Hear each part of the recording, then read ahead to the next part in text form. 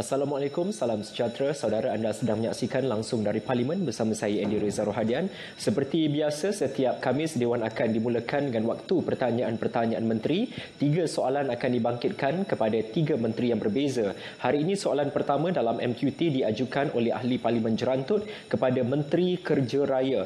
Beliau mahu tahu apakah cabaran yang dihadapi oleh pemain industri uh, pembinaan ketika pandemik dan apakah langkah yang dilaksanakan kementerian untuk mem- membantu kesemua pemain industri mendepani cabaran ketika pandemik COVID-19.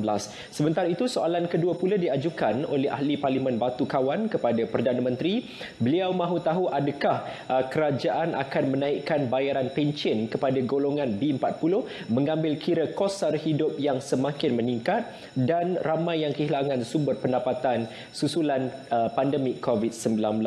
Ahli Parlimen Rompin pula membangkitkan soalan kepada Menteri Perusahaan Perdagangan, Peladangan dan Komoditi. Uh, beliau mahu tahu berapakah nilai ekspor perabot dari tahun 2019 hingga Jun 2021 dan apakah langkah yang telah pun diambil oleh kementerian untuk merancakkan lagi industri tersebut supaya mampu menambah nilai ekspor negara. Baik, selesai saja sesi pertanyaan-pertanyaan bagi jawab uh, pertanyaan-pertanyaan Menteri MQT. Dewan akan diteruskan dengan waktu pertanyaan-pertanyaan bagi jawab lisan. Antara soalan-soalan yang bakal dibangkitkan ketika sesi pertanyaan pertanyaan-pertanyaan bagi jawab lisan adalah soalan kepada uh, Menteri Sains, Teknologi dan Inovasi. Ini soalan dibangkitkan oleh ahli Parlimen Pandan Datuk Seri Dr. Wan Azizah Wan Ismail.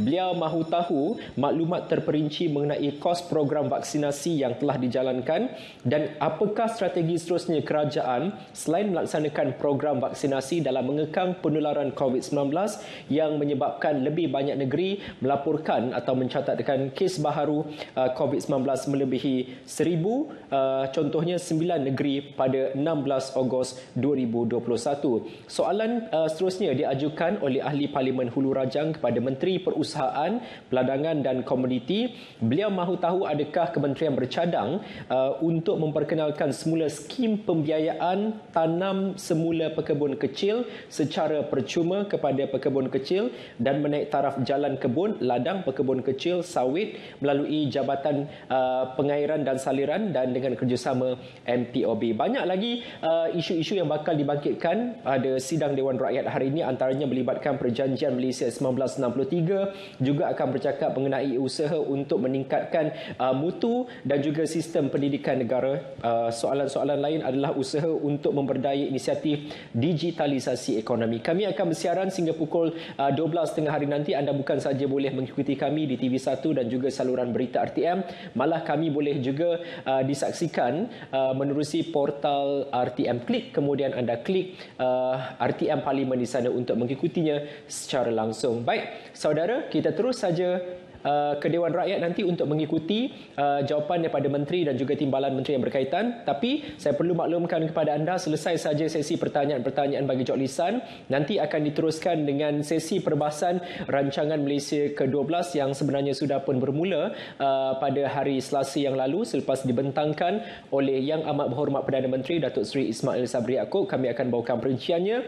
Uh, semalam uh, kemarin Selasa telah pun dimulakan sesi perbahasan RM ke-12 oleh Ketua Pembangkang Datuk Seri Anwar Ibrahim kemudian Ahli Parlimen Pekan Datuk Seri Najib Tun Abdul Razak. Hari ini kita akan ikuti apakah lagi perkara-perkara yang akan dibangkitkan oleh ahli-ahli parlimen ketika sesi perbahasan RM ke-12 tapi sebelum itu kita saksikan dahulu apakah jawapan menteri dan timbalan menteri yang berkaitan dalam sesi MQT dan juga waktu pertanyaan-pertanyaan bagi jawab lisan.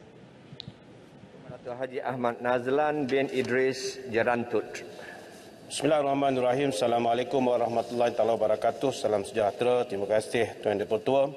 Soalan jerantuk berbunyi meminta Menteri Kanan Kerja Raya menyatakan sektor pembinaan antara yang terkesan akibat penularan wabak pandemik COVID-19.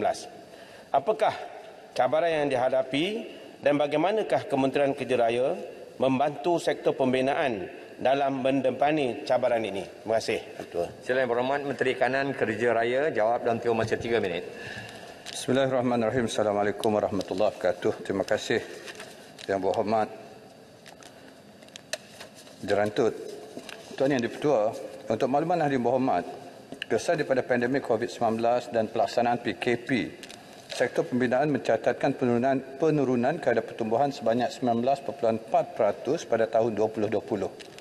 Sementara pada suku pertama 2021, sektor pembinaan terus menurun pada kadar 10.4%. Walau bagaimanapun ianya telah meningkat pada kadar 40.3% pada suku kedua 2021. Sepanjang tempoh pelaksanaan PKP bermula daripada 18-20-20 sehingga kini industri pembinaan dianggarkan mengalami kerugian sebanyak 42 bilion ringgit. Daripada jumlah ini, 18 bilion ringgit adalah anggaran kerugian dalam tempoh PKP 3 yang bermula pada 1 bulan Jun 2021 sehingga September 2021. Sementara bakinya 24 bilion ringgit merupakan kerugian daripada pelaksanaan PKP 1 pada 2020 yang menjejaskan pelaksanaan kerja pembinaan daripada Mac hingga Julai 2020. Sememangnya sektor pembinaan adalah antara industri yang terkesan akibat penularan pandemik COVID-19.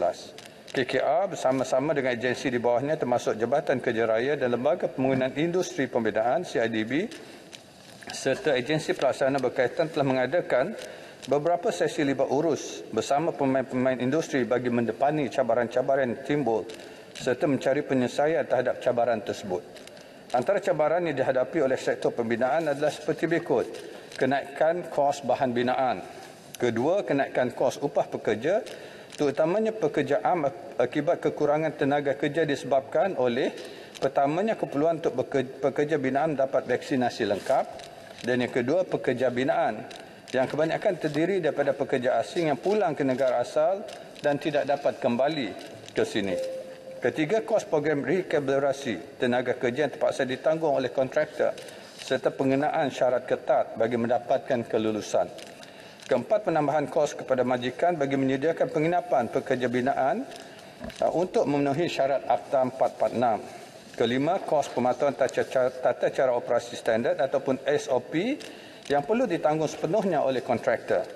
Dan keenam, keperluan untuk mewujudkan universal tempoh lanjutan masa ataupun EOT ke dalam Akta 829. Eh, Tuan Yang Dipertua, antara cadangan penyelesaiannya terhadap cabaran-cabaran dikenal pasti adalah pertama, Kementerian Kerja Raya ambil maklum berkenaan isu kenaikan kos bahan binaan dan telah mengemukakan cadangan untuk mewujudkan semula peruntukan pengiraan klausa perubahan harga ataupun variation of price BOP kepada Kementerian Kewangan Malaysia. Kedua, menjalankan inisiatif Construction Industry Vaccination Program ataupun ringkasnya CVAC bagi membantu pekerja-pekerja sektor pembinaan mendapatkan suntikan vaksin dan seterusnya membolehkan kerja-kerja di tapak pembinaan dapat diteruskan tanpa kekurangan pekerja. Ketiga, kerajaan telah bersetuju untuk melonggarkan syarat rekalibrasi khusus untuk pekerja binaan. Keempat, kerajaan mengelakkan penyediaan centralized labour quarters atau kawasan penginapan pekerja oleh penyedia perkhidmatan. Kelima, bagi projek kerajaan, kos pematuhan SOP bagi tempoh tertentu telah disenaraikan dalam kerja awalan ataupun preliminary works. Dan keenam, akibat pelaksanaan PKP, kerajaan telah melaksanakan pemberian EOT secara automatik selama 60 hari untuk semua projek JKR. Terima kasih. Terima kasih Menteri Kanan. Sila Jalan Tut, soalan pertama pertama. Terima kasih. Ya, betul. Terima kasih Pak Menteri atas jawapan yang diberikan. Cuma saya ingin bertanya lagi, akibat daripada COVID ini banyak sektor mengalami kenaikan barangan. Jadi apakah langkah yang telah diambil bagi menangani kos bahan binaan yang meningkat boleh dikatakan saban hari akibat daripada perintah kawalan pergerakan di mana banyak projek pembinaan tergendala dan kontraktor-kontraktor kecil khususnya tidak mampu berupaya menyiapkan projek-projek mereka kerana kenaikan dan juga kelewatan barangan sampai ke tapak projek. Terima kasih. Ya, betul. Sila Kanan 2 minit 30 saat. Terima kasih Muhammad Jerantut. Eh, seperti mana saya katakan tadi, kita telah angkatkan kepada Kementerian Kewangan uh, untuk VOP, Variation of Price. Dan Alhamdulillah, Kementerian Kewangan telah pun setuju dan meluluskan dengan menguatkuasakan perkeliling baru iaitu PK 2.4 pelaksanaan syarat perubahan harga ataupun variation price di dalam kontrak kerja pada 15 Julai 2021. Keliling ini berkuat kuasa mulai 1 Januari 2021 sehingga 30 Disember 2021. Jadi kerja-kerja termasuklah kerja kutan awam dan mechanical dan electrical. Jadi bahan-bahan yang telah diluluskan ialah untuk kerja bangunan mild steel round bars dan juga high tensile uh, deform bars. Manakala untuk kerja kejutan awam yang diluluskan ialah kerasyahan, mild steel uh, round bars, high tensile deform bars, water pipe and sewerage pipe dengan izin dan kerja M&E, copper cables, uh, switch gears, transformers, generators, uh, lightning protection system dan earthing system, air conditioning system dan juga motor dengan izin. Uh, manakala CIDB pula telah menjalankan uh, pemantauan harga binaan dan menerbitkannya melalui portal National Construction Cost Center ataupun N3C. Uh, harga bahan-bahan binaan ini akan dikumpulkan melalui kerjasama dengan beberapa persatuan uh, berkaitan pembinaan dan dipolehi daripada kontraktor. Uh, aktiviti pemantauan telah dilaksanakan semenjak tahun 2002 lagi. Dan dengan itu saya mengharapkan akan dapat membantu para kontraktor untuk membuat perbandingan harga dan insyaAllah kita akan uh, terus memantau uh, memastikan bahawa harga-harga barang ini akan dapat terkawal. Tapi pada masa ini saya kira Alhamdulillah dengan pembukaan semua sektor ekonomi barang sudah agak stabil dari segi harga. Terima kasih. Terima kasih Menteri Kanan. Sri Gading. Tanyaan tambahan yang kedua saya jumpa yang berhormat Sri Gading. 30 saat. Terima kasih eh, Yang Ketua. Uh, yang Menteri, ringkas saja soalan saya uh, apakah bentuk-bentuk bantuan kepada daripada CIDB kepada kontraktor kecil yang terjejas sama ada bantuan itu bentuk kewangan ataupun bukan kewangan untuk bantuan sila Menteri Kanan dua minit terima kasih Yang Berhormat uh, Seri Gading. Untuk uh, CIDB uh, sekarang ini apa yang dijalankan ialah pengecualian bayaran yang dikenakan kepada personal binaan uh, tempatan yang menghadiri kursus latihan. Maknanya kalau mereka menghadiri kursus maka mereka akan diberi uh, pengecualian uh, daripada bayaran. Sebab sekarang ini diwajibkan mereka untuk menghadiri kursus jadi sebab waktu keadaan pandemik ini maka mereka tak perlu membayar tapi boleh hadir uh, untuk kursus dan dikecualikan daripada bayaran uh, yang dikenakan. Manakala bagi bayaran untuk pekerja asing bagi penilaian kalau mereka mengambil uh, pekerja asing uh, untuk bekerja maka mereka di, uh, diberi diskaun sebanyak 50% bagi penilaian pada pekerja asing untuk mendapat sertifikat lah iaitu green card dan sebagainya. Uh, dan juga begitu uh, kita mengadakan kursus di mana mereka untuk hadir kursus uh, secara percuma. Uh, itu yang diberikan pada masa ini oleh CIDB uh, selain daripada itu sebenarnya untuk kontraktor-kontraktor kerajaan telah banyak membantu. Ah, khususnya G1 sehingga G4 ada package tertentu ah, khususnya untuk jalan ah, penyelenggaraan jalan dan sebagainya yang diberi peruntukan sebanyak 400 juta sebagai tambahan dan dengan itu diharapkan akan dapat menggerakkan ekonomi di peringkat umbi khususnya kontraktor-kontraktor G1 hingga G4 ini selain daripada projek-projek besar untuk G7 yang sedang bergerak sekarang. Terima kasih. Terima kasih Menteri Kanan. Pertanyaan Menteri seterusnya saya ingin menjemput Puan Kasturi, anak perempuan Patu Batu Kawan. Terima kasih Tuan Yang Dipertua. Soalan saya berbunyi agar Perdana Menteri menyatakan jika kerajaan akan menaikkan bayaran pencen bagi golongan B40 selaras dengan kos sara hidup yang tinggi dan ramai yang kehilangan sumber pendapatan di kala pandemik ini. Terima kasih. Sila Menteri di Jabatan Perdana Menteri menjawabnya. Tiga minit. Ah, Yang Berhormat Tok Speaker, terima kasih. Uh, Berhormat sahabat saya daripada Batu Kawan. Sejujurnya, uh, ada COVID atau tak ada COVID, pesara staf kerajaan memang tiap-tiap tahun naik bayaran pencennya 2% sejak 1 Januari 2013. Jadi kalau nak naik lebih daripada 2% tu perlu satu kajian mendalam ekoran daripada COVID. Terima kasih Tok Speaker. Terima kasih. Soalan tambahan pertama sila Bantu Kawan. Terima kasih uh, Yang Berhormat Menteri di atas jawapan. Yang Berhormat Menteri, paras pendapatan garis kemiskinan kini berada di tahap RM 2,208. Namun ramai pesara yang menerima pencen tergolong di kategori B40 hanya menerima dalam lebih kurang RM300 dan ke atas setiap bulan. Satu amount yang sangat rendah. Mereka mempunyai pekerjaan sambilan tetapi di masa pandemik ini mereka terpaksa diberhentikan dan mungkin layak untuk satu bantuan one-off kerajaan sahaja.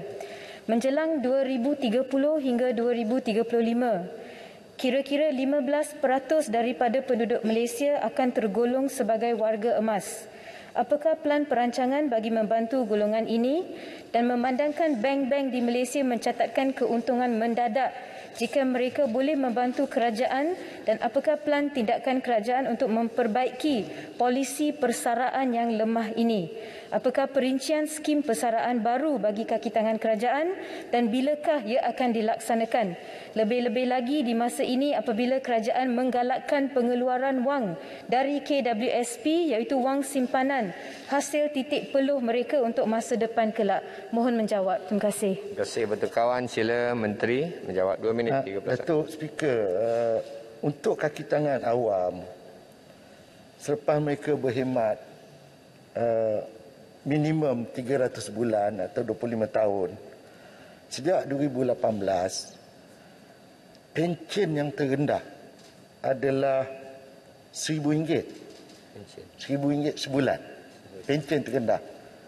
Uh, saya bagi contoh dulu sebelum 2013 pencen uh, kaki tangan awam paling rendah RM720 hmm. tapi sejak 2018 untuk kaki tangan awam yang pencen pencen terendah tu tidak lagi 720 1000 maknanya dah pencen dia tak ada buat apa mungkin anak-anak dia dah uh, lepas sekolah. Tapi bagi mereka-mereka yang segelintir yang mungkin kurang daripada pendapatan uh, garis uh, kemiskinan yang berjumlah RM2,208 mereka mungkin terpaksa bekerja kerana uh, memenuhi uh, keperluan kehidupan. Uh, itu uh, adalah satu perkara yang sedang dipikirkan dan sebenarnya JPA dah buat satu kajian hmm. dan akan dibentangkan kepada Yang Amat Berhormat Perdana Menteri sebelum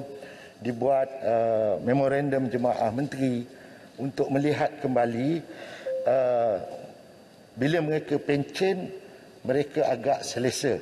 Terima kasih Datuk Speaker. Terima kasih Menteri. Soalan tambahan kedua. Sekiranya tidak ada, saya... Ada, ada. Um, Datuk Padang Serai. sedikit. Saya, uh, saya bagi pulang uh, Padang Serai. Tapi uh, sedikit lagi uh, jawapan daripada Menteri tadi. Uh, saya baru semak dengan seorang yang menerima pencen daripada mendiang suami beliau. Dan beliau mendapat RM679 sebulan yang Menteri. Bukan RM1,000 lebih. Uh, saya faham ada kategori-kategori seperti yang Muhammad Menteri katakan. Tetapi kita tidak boleh nafikan bahawa ada golongan yang memang golongan rentan ini yang menerima pencen yang yang sangat sedikit. Dan uh, dalam masa ini cabaran mereka lebih daripada cabaran pesara kerajaan yang baru bersara dalam umur 50 lebih. I'm speaking about the ones who are older more than 60 who are warga emas and B40 okay. terima kasih. Saya Terima boleh kasih. menerima jawapan bertulis. Saya bantu kawan. Tak apa saya jemput dulu. Uh, Padang Serai soalan tambahan kedua 30 saat sebelum menteri menjawab sila terima, terima kasih yang dipertua terima kasih menteri soalan saya berkaitan tentera saya ingin bertanya mengenai pencin tapi pencin untuk golongan veteran ATM. Saya ingin bertanya, adakah pihak kerajaan kini komited untuk membuat penyelarasan pencin lama dan baru bagi golongan ATM? Ramai yang sekarang sesadai dekat katil. Pencin yang dibayar nak beli ubat pun tak cukup. Tolonglah kerajaan. Nilaikan, hargailah jasa mereka. Terima kasih Yang Dipertua. Terima kasih Padang Serai. Sila Menteri 2 minit 30 saat. Uh, menjawab soalan uh, Batu Kawan. Pencen uh, bagi penjawat awam dia akan dapat pencen sehingga dia hidup. Bila dia meninggal, isteri dia adalah beneficiary kepada pencen hmm. itu. Dia. Tetapi dia ada had dia. Uh, jika lebih daripada 15 tahun, dia akan uh, perlahan-perlahan dikurangkan pencen itu. Jadi uh, ini adalah satu kes yang isolated uh, yang berhormat Batu Kawan. Uh, walau bagaimanapun kita akan tengok balik tengok sebab balik. yang pentingnya orang yang bekerja dengan kerajaan dapat layanan yang baik. Tapi kerajaan lebih lagi bagi uh, faedah kepada tanggungan dia. Itu uh, tak banyak negara dalam dunia yang buat macam tu. Kemudian uh, Padang Serai, uh, saya dulu pernah jadi timbalan menteri di kementerian. Uh, ini masalah servis. Betul, umpamanya pegawai warren yang sudah lama berhebat, skim dia mungkin tahun 70-an, dia pencen, dapat mungkin tujuh atau seratus apa seribu ringgit seperti pencen yang terendah. Tapi kalau dia pegawai Warren sekarang dia pencen dia dapat lebih kurang tiga ribu ringgit sebulan. Dan semua uh, macam perawatan perubatan memang ditanggung oleh kerajaan. Jadi tidak timbul jika tak ada duit nak beli ubat. Uh, Jabatan Hak Ehwal Veteran hmm. memang uh, menyediakan peruntukan yang cukup untuk memastikan uh, mereka-mereka pesara tentera sentiasa mendapat perhatian. Terima kasih. Terima kasih Menteri. Selanjutnya saya ingin menjemput Yang Berhormat Datuk Seri Hassan bin Arifin Rompin. Assalamualaikum warahmatullahi wabarakatuh dan selamat pagi. Tuan Yang Dipertua, minta Menteri Perusahaan, Peladangan dan Komoditi menyatakan industri perabot pernah memberi sumbangan nilai ekspor yang tinggi kepada negara. Berapakah nilai ekspor perabot pada tahun 2019, 2020 dan sehingga Jun 2021? Apakah langkah kementerian untuk merancakkan lagi industri ini supaya mampu menambahkan nilai, nilai ekspor negara? Terima kasih. Sila Menteri Perusahaan Peladangan dan Komuniti menjawabnya. Tiga minit.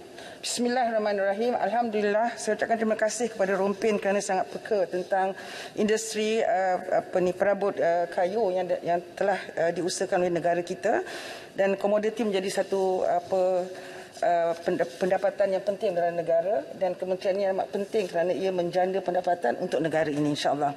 So jadi uh, untuk pengetahuan Rompin uh, the general uh, apa ni maklumat yang lebih besar bahawa uh, dalam world market uh, furniture industry ini dia punya nilai dia adalah sebanyak 543.9 bilion ya. Dan total export, export um, uh, market is about 307 billion. So pada ketika ini Malaysia pada tahun 2019 telah um, menyumbangkan sebanyak 9.14 bilion ekspor dan pada tahun 2020 uh, 10.63 bilion ekspor. Dan insyaallah pada tahun 2021 atau uh, up to June now kita telah mengekspor sebanyak 5.58 bilion uh, apa perabot keluar negara. Dan insyaallah kita target untuk sampai ujung tahun ini sebanyak 12.5 bilion yang mana ianya akan menghasilkan sebanyak peningkatan 20% daripada 2020 dan uh, negeri-negeri yang kita telah uh, apa uh, memasarkan kita punya perabot-perabot kayu ni termasuk lima negeri utama eh Amerika, Japan, China, India dan Singapura. So pada tahun 2019 Amerika yang paling tertinggi sekali, 2020 pun Amerika paling tertinggi, 2021 pun Amerika paling tertinggi. So jadi uh, ekspor uh, ke Jepun pun yang kedua negara yang kedua, China yang ketiga dan uh, tahun 2020 ada shift Uh, tahun 2019 India negeri keempat tapi tahun 2020 shift kepada Australia ya dan Singapura masih uh, di tahap yang nombor lima. Begitu juga di tahun 2021 uh, kita juga uh, Amerika pertama, Jepun kedua, China ketiga, India keempat dan Australia keempat dan Singapura yang kelima. Kalau nak ada details figure tu nanti saya akan buat tulis uh, bertulis kerana saya kalau saya baca pun tak sempat nak nak catch up with the numbers ya. So jadi apakah usaha-usaha yang kita akan lakukan untuk merancakkan lagi uh, apa ni contribution ekspor uh, kayu dalam uh, ekspor furniture kayu ke luar negara. Uh, ketika ini kita telah uh, mengenal pasti ya mengenal pasti beberapa negara yang berpotensi tinggi untuk mengimport uh, furniture produk kita iaitu negara-negara yang uh, mempunyai temperate forest yang memerlukan tropical forest punya kayu ya. So uh, negara ini seperti North America Canada India dan Middle East. So inilah market yang kita akan uh, venture yang akan kita pelopori untuk uh, meningkatkan lagi ekspor negara kita. Selain daripada itu sudah tentu perkara-perkara teknologi, perkara-perkara penanaman semula dan juga uh, transfer of technology dan design daripada daripada apa international design kita kena belajar untuk buat local design. Dan juga mengambil bahagian dalam exhibition-exhibition dan ekspor-ekspor. Ini adalah perkara untuk meningkatkan lagi ekspor kayu, uh, furniture kayu ke luar negara daripada Malaysia. Terima kasih. Terima kasih Menteri. Soalan tambahan pertama sila Terima kasih Yang Berhormat Menteri. Uh, perabot getah pernah di, disebut sebagai the golden tick yang begitu popular di Amerika dan di Eropah. Uh, adakah apakah rancangan kerajaan untuk uh, mempergiatkan lagi uh, furniture apa tu perabot getah ni dan yang sama Uh, mengeluarkan latex yang begitu nilai tinggi. Apakah kerajaan uh, berhasrat untuk uh, mempertingkat lagi tanaman getah yang berteraskan kepada getah yang boleh buat perabot? Saya Rompin, sila Menteri, 2 minit 13 saat. Rompin, eh, ketika ini kita semua uh, memahami bahawa industri getah dalam negara ada uh, agak menurun kerana memandangkan bahawa industri getah ini masih uh, bergantung kepada teknologi lama ataupun cara lama untuk uh, tapping the rubber. Untuk apa tu? Uh, menoreh getah ya. So jadi uh, oleh kerana ketidak ada uh, ketidakadaan uh, tidak kewujudnya teknologi ataupun cara-cara yang lebih mudah untuk mereka menoreh getah, maka ini telah mengakibatkan industri getah kita menurun dan juga penanaman semula pun juga menurun. Jadi oleh kerana ini uh, kita harus tangani kerana seperti apa yang disebutkan Rompin, uh, golden tick eh yang datang daripada uh, getah pokok getah jadi uh, kementerian telah berusaha sekarang ber, tengah sedang berusaha untuk memastikan penanaman semula untuk memastikan bahawa the business model untuk uh, pekebun-pekebun kecil yang uh, mengusahakan getah 90% of them kita akan uh, apa, merangka polisi yang lebih uh, membolehkan menstruktur mereka, mengawal mereka, memantau mereka dan memastikan bahawa the business model for uh, penoreh getah ini is sustainable. Jadi dengan itu kita boleh mampu untuk um, um, mengeluarkan pokok uh, timber teak ini tadi disebut ya timber teak golden teak ini daripada kayu getah untuk kita ekspor kerana ada permintaan yang banyak untuk kayu seperti uh, kayu getah ini. Terima kasih. Terima kasih Menteri. Soalan? Kalau tadi uh, daripada Tampin sekarang saya panggil Rompin pula. Sila yang bawa Rompin. Mana? Tadi Rompin. Eh, maaf, Rompin Tam- sekarang ke Tampin. Oh. Terima kasih Datuk Yang Dipertua. Uh, di bawah peruntukan RM11, Usahawan Bumi Putra telah diberi pelbagai insentif khusus seperti pembiayaan aktiviti pemasaran dan peluasan dan pengukuhan pemasaran domestik dan antarabangsa perkayuan usahawan Bumi Putra dibiayai menggunakan peruntukan rancangan Malaysia yang ke-11. Melalui projek pembangunan usahawan produk perkayuan bernilai tambah tinggi, namun penglibatan Bumi Putra dalam industri perkayuan amat rendah.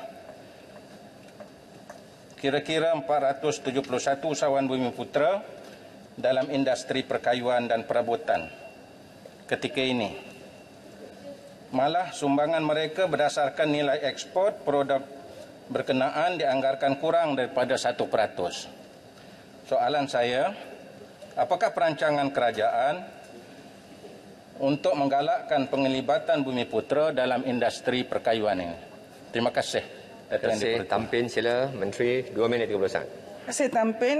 Hmm, kita memahami bahawa dalam um, perancangan kerajaan, uh, kementerian, memang ada satu uh, bahagian ataupun satu uh, usaha untuk meningkatkan lagi uh, penglibatan bumi putra dalam industri uh, furniture ni ya, perabot ni ya. Jadi ada uh, model business model yang telah uh, saya kaji dan insya-Allah kita akan kaji semula untuk memperbaiki Uh, model bisnes ini agar boleh dapat meningkatkan uh, penglibatan bumi putra dalam industri ini. Kerana bumi putra banyak melibatkan diri dalam industri ini dalam uh, membuat perabot kecil-kecilan ya. Jadi tidak dalam satu, bentuk perniagaan yang lebih besar. Jadi ini kementerian insya-Allah akan berusahakan untuk menguruskan mereka secara berkelompok dan juga uh, mengadakan uh, su, uh, polisi yang mana kita boleh uh, menstruktur mereka dan juga memantau mereka dan memandu mereka juga untuk bagaimana untuk menjadi usahawan uh, maju dalam perabot uh, industri perabot ini. Jadi ini adalah bajet memang ada khusus untuk development pembangunan Bumi Putra ini. Jadi insya-Allah dimanfaatkan dengan cara yang terbaik, yang lebih cost efektif, yang lebih produktif, yang akan mendatangkan hasil dan mereka juga menjadi sustainable dalam pendapatan mereka uh, untuk uh, bisnes uh, perabot uh, kayu ini. Terima kasih. Terima kasih Menteri. Dan Ibu Hormat sekarang tambahlah sesi untuk waktu pertanyaan-pertanyaan Menteri pada hari ini. Terima kasih ahli-ahli yang berhormat. Pertanyaan-pertanyaan bagi jawab lisan. Sekarang saya jemput Yang Berhormat Datuk Wilson Unggah Anak Kumbong Hulu Rajang. Terima kasih uh, Datuk Yang Pertua sayang kumbang mencari makan, terbang seiring menanti matahari. Soal nombor satu saya ajukan, mohon penjelasan yang berhormat Menteri. Sekian, terima kasih. Sila Menteri Perusahaan Peladangan dan Komoditi menjawab. Tiga minit. Terima kasih Speaker kerana memberi soalan saya nombor satu. Jadi Baik. memudahkan saya jawab dan boleh beredar dari Dewan. Terima kasih. Teruskan menteri. Ada, ada kerja lain. Okey, uh, so jadi terima kasih apa ni Hulu Rajang di atas uh, soalan ni. Uh, saya juga nak mem, uh, apa memberikan gambaran yang lebih besar dahulu sebelum saya jawab spesifik kepada jawapan soalan yang diberikan Hulu Rajang ya. Ketika ini kita ada mempunyai seramai sebanyak 238,108 pekebun kecil eh? Pekebun apa di uh, persendirian dalam negara kita yang melingkumi uh, yang merangkum 895,297 hektar ya? Jadi ini merupakan 40% daripada uh, apa ni pekebun-pekebun uh, sawit uh, pekebun-pekebun sawit. Jadi oleh kerana itu kita melihatkan ramai yang terlibat dalam uh, industri sawit ini terdiri daripada pekebun-pekebun kecil. Jadi ini kita harus uh, kementerian sedang merancang untuk uh, memperkenalkan atau um, tengah merangkakan polisi dan untuk memberikan panduan bagaimana mereka boleh menguruskan uh, ladang sawit mereka agar lebih produktif. Jadi oleh kerana itu kita akan memperkenalkan uh, bantuan bersasar. Bantuan bersasar maknanya kita akan sasarkan kepada golongan B40 dulu yang mempunyai tanah seluas selalunya average seluas uh, 10 ekar ke bawah ya. So jadi dengan itu kita akan apa ni atau saya punya timbalan Vijay Singh dia angguk-angguk pasal ini juga idea daripada dia ya. So okay, terima kasih. Okay. Okay. So jadi uh, daripada apa uh, bantuan ini kita akan menyasarkan kepada betul-betul golongan yang memerlukan bantuan iaitu golongan B40 yang mempunyai keluasan tanah 10 hektar ke bawah. Eh. Jadi kita ada juga model-model yang kita akan lihat uh, berapa uh, hasil mereka dan juga mungkin ada hasil tambahan dari segi integrasi penanaman integrasi pokok-pokok yang lain atau tenakan yang lain dan situ kita akan uh, membuat formula bagaimana kita nak membantu mereka dengan memberikan uh, seperti grant eh tidak bukan loan lagi grant kepada golongan B40 yang mengusahakan uh, ladang sawit ini terima kasih Salam pertama sila okay. Rajang. Uh, terima kasih uh, Yang Berhormat Menteri. Terima kasih harga sawit pada hari ini BTS harga di RAM 885 harga di kilang 896 jadi inilah satu menaikkan taraf hidup rakyat di luar bandar. Saya sendiri pun petanam eh, kebun sawit yang berhormat. Dan apakah perancangan uh, yang masa hadapan kerajaan kita meneruskan program iaitu skim tanaman semula pekebun kecil TSSP uh, PK yang dia ada semasa rancangan Malaysia ke-10 telah banyak yang berhormat menteri membantu kebun kecil uh, dan ramai lagi di kawasan luar bandar. Namun hari ini ianya telah ditukar uh, daripada grant kepada pinjaman bermula pada rancangan Malaysia ke-11 ini menyebabkan ramai pekebun kecil menghadapi kesukaran yang Muhammad Menteri bagi mencari dana yang nak mulakan peratanan mereka. Usaha dulu, kerajaan dulu, BN dulu, ketika memberi grant kini telah banyak membantu pekebun kecil yang senang lenang semasa penularan apa nama uh, penularan uh, COVID-19 ini. Jadi saya mintalah saya minta uh, yang berhormat menteri jika kita tak bantu mereka, siapa lagi yang berhormat menteri? Saya mohon kerajaan keluarga Malaysia ni bantulah pekebun kecil di seluruh Malaysia dan di kuasaan saya pada hari ini mereka melihatkan TV uh, yang berhormat menteri dan agar syorkan agar skim grant ini dimasukkan semula dalam rancangan Malaysia ke-12. Mohon yang berhormat menteri. Baik, silakan menteri. Satu minit yang sangat passionate sampai dia tak dengar apa saya jawab tadi eh. Itulah yang saya sebut tadi uh, bahawa kita akan buat satu polisi baru yang mana akan meneruskan TSPKS ini dengan cara berstruktur, teratur dan tersusun dan juga kita memastikan bahawa duit yang kita kasih itu adalah grant, no more loan. Eh, kita akan go back to grant only targeted kepada golongan B40 yang uh, tanahnya 10 ekar ke bawah ya. So jadi saya ingat saya dah jawab soalan tu tadi. Jadi insyaallah uh, Lu Rajang uh, ianya dilaksanakan ya. Terima kasih menteri. Tolong ya. So soalan yang uh, nombor B tadi saya tak jawab tadi ya. Tentang pekebun kecil uh, menaik taraf jalan kebun ladang atau kebun kecil. Yang ini memang masih lagi diteruskan cuma Hulu Rajang uh, dalam soalan tu dia silap. Dia bukan melalui Jabatan Pengaliran Saliran dan dengan kerja kerjasama MPOB dia MPOB kerjasama dengan JPS. Ha, ha itu ada beza dia tu. Siapa yang ketua, siapa yang membantu.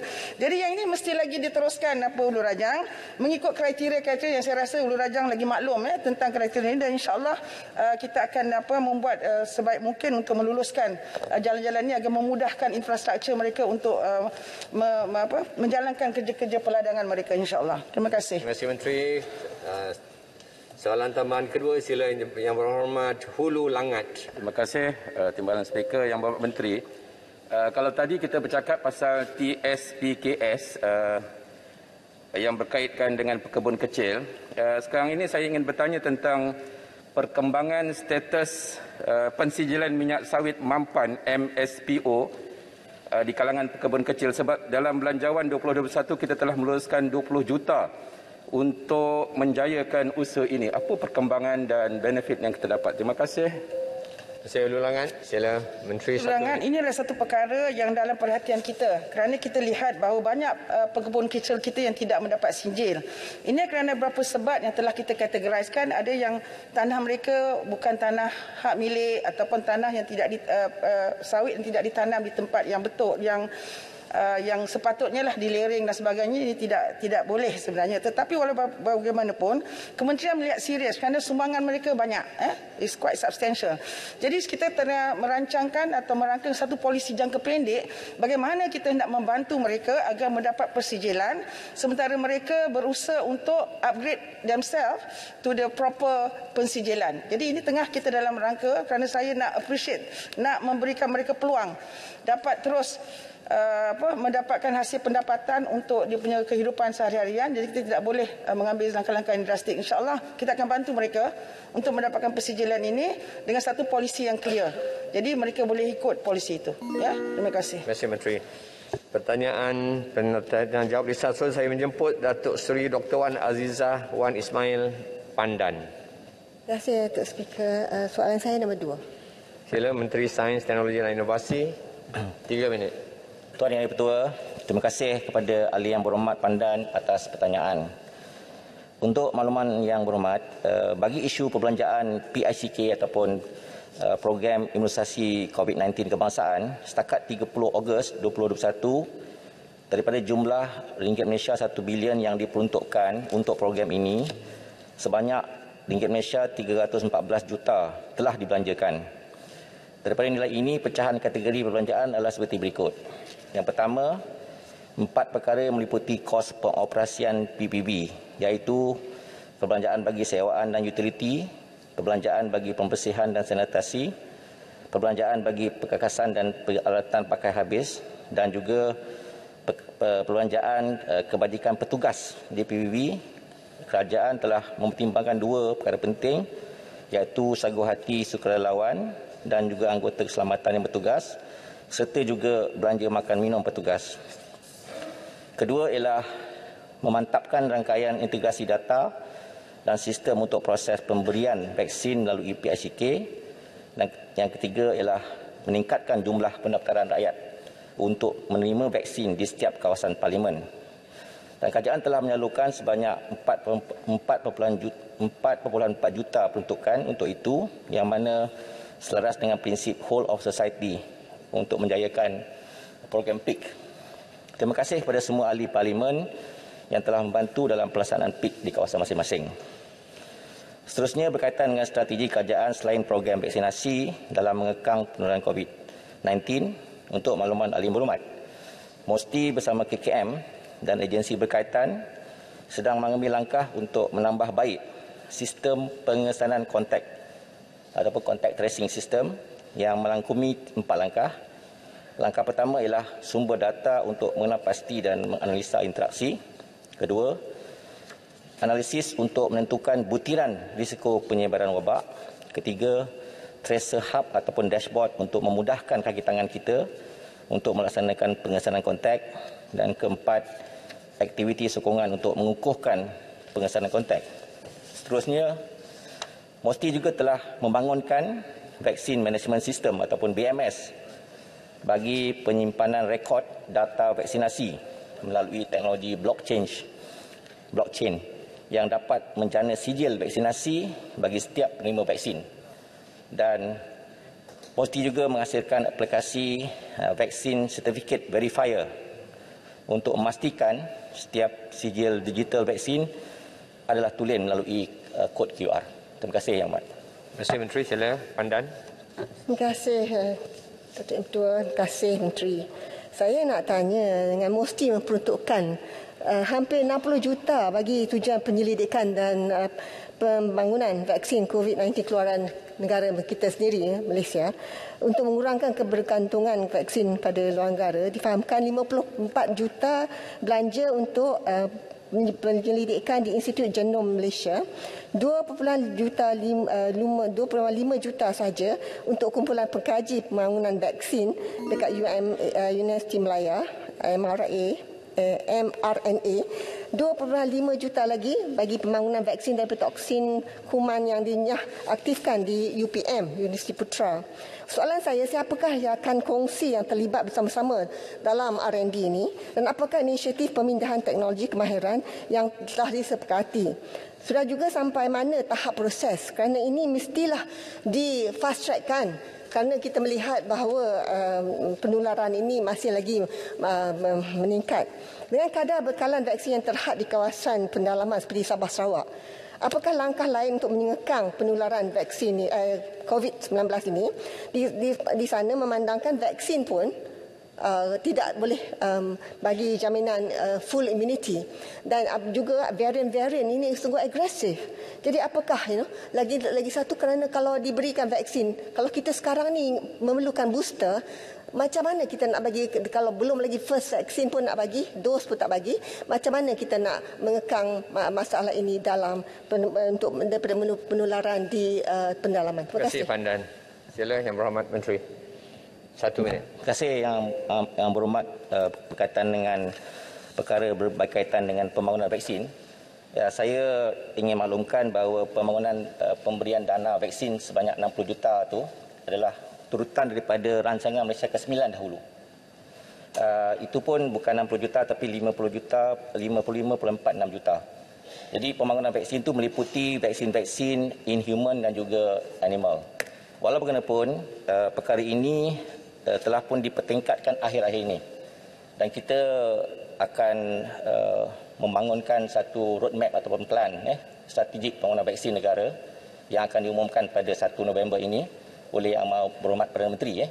Kita bersetuju untuk memastikan bahawa uh, kumpulan-kumpulan uh, pembangun vaksin yang terdiri daripada biologis, microbiologis eh, dan juga clinical pharmacologist serta mencukupkan center untuk membuat ujian klinikal untuk human fasa 1, 2 dan 3. Dan untuk Sabah yang berhormat, kita bersyukur kerana selain pada vaksin Pfizer, Sinovac, kita telah membekalkan hampir 200,000 vaksin CanSino di Sabah supaya satu dos hanya diberikan kepada mereka yang berada di pendalaman. Dan ketika ini hanya 5.6% saja uh, penduduk dewasa yang belum mendaftar untuk mendapatkan vaksin.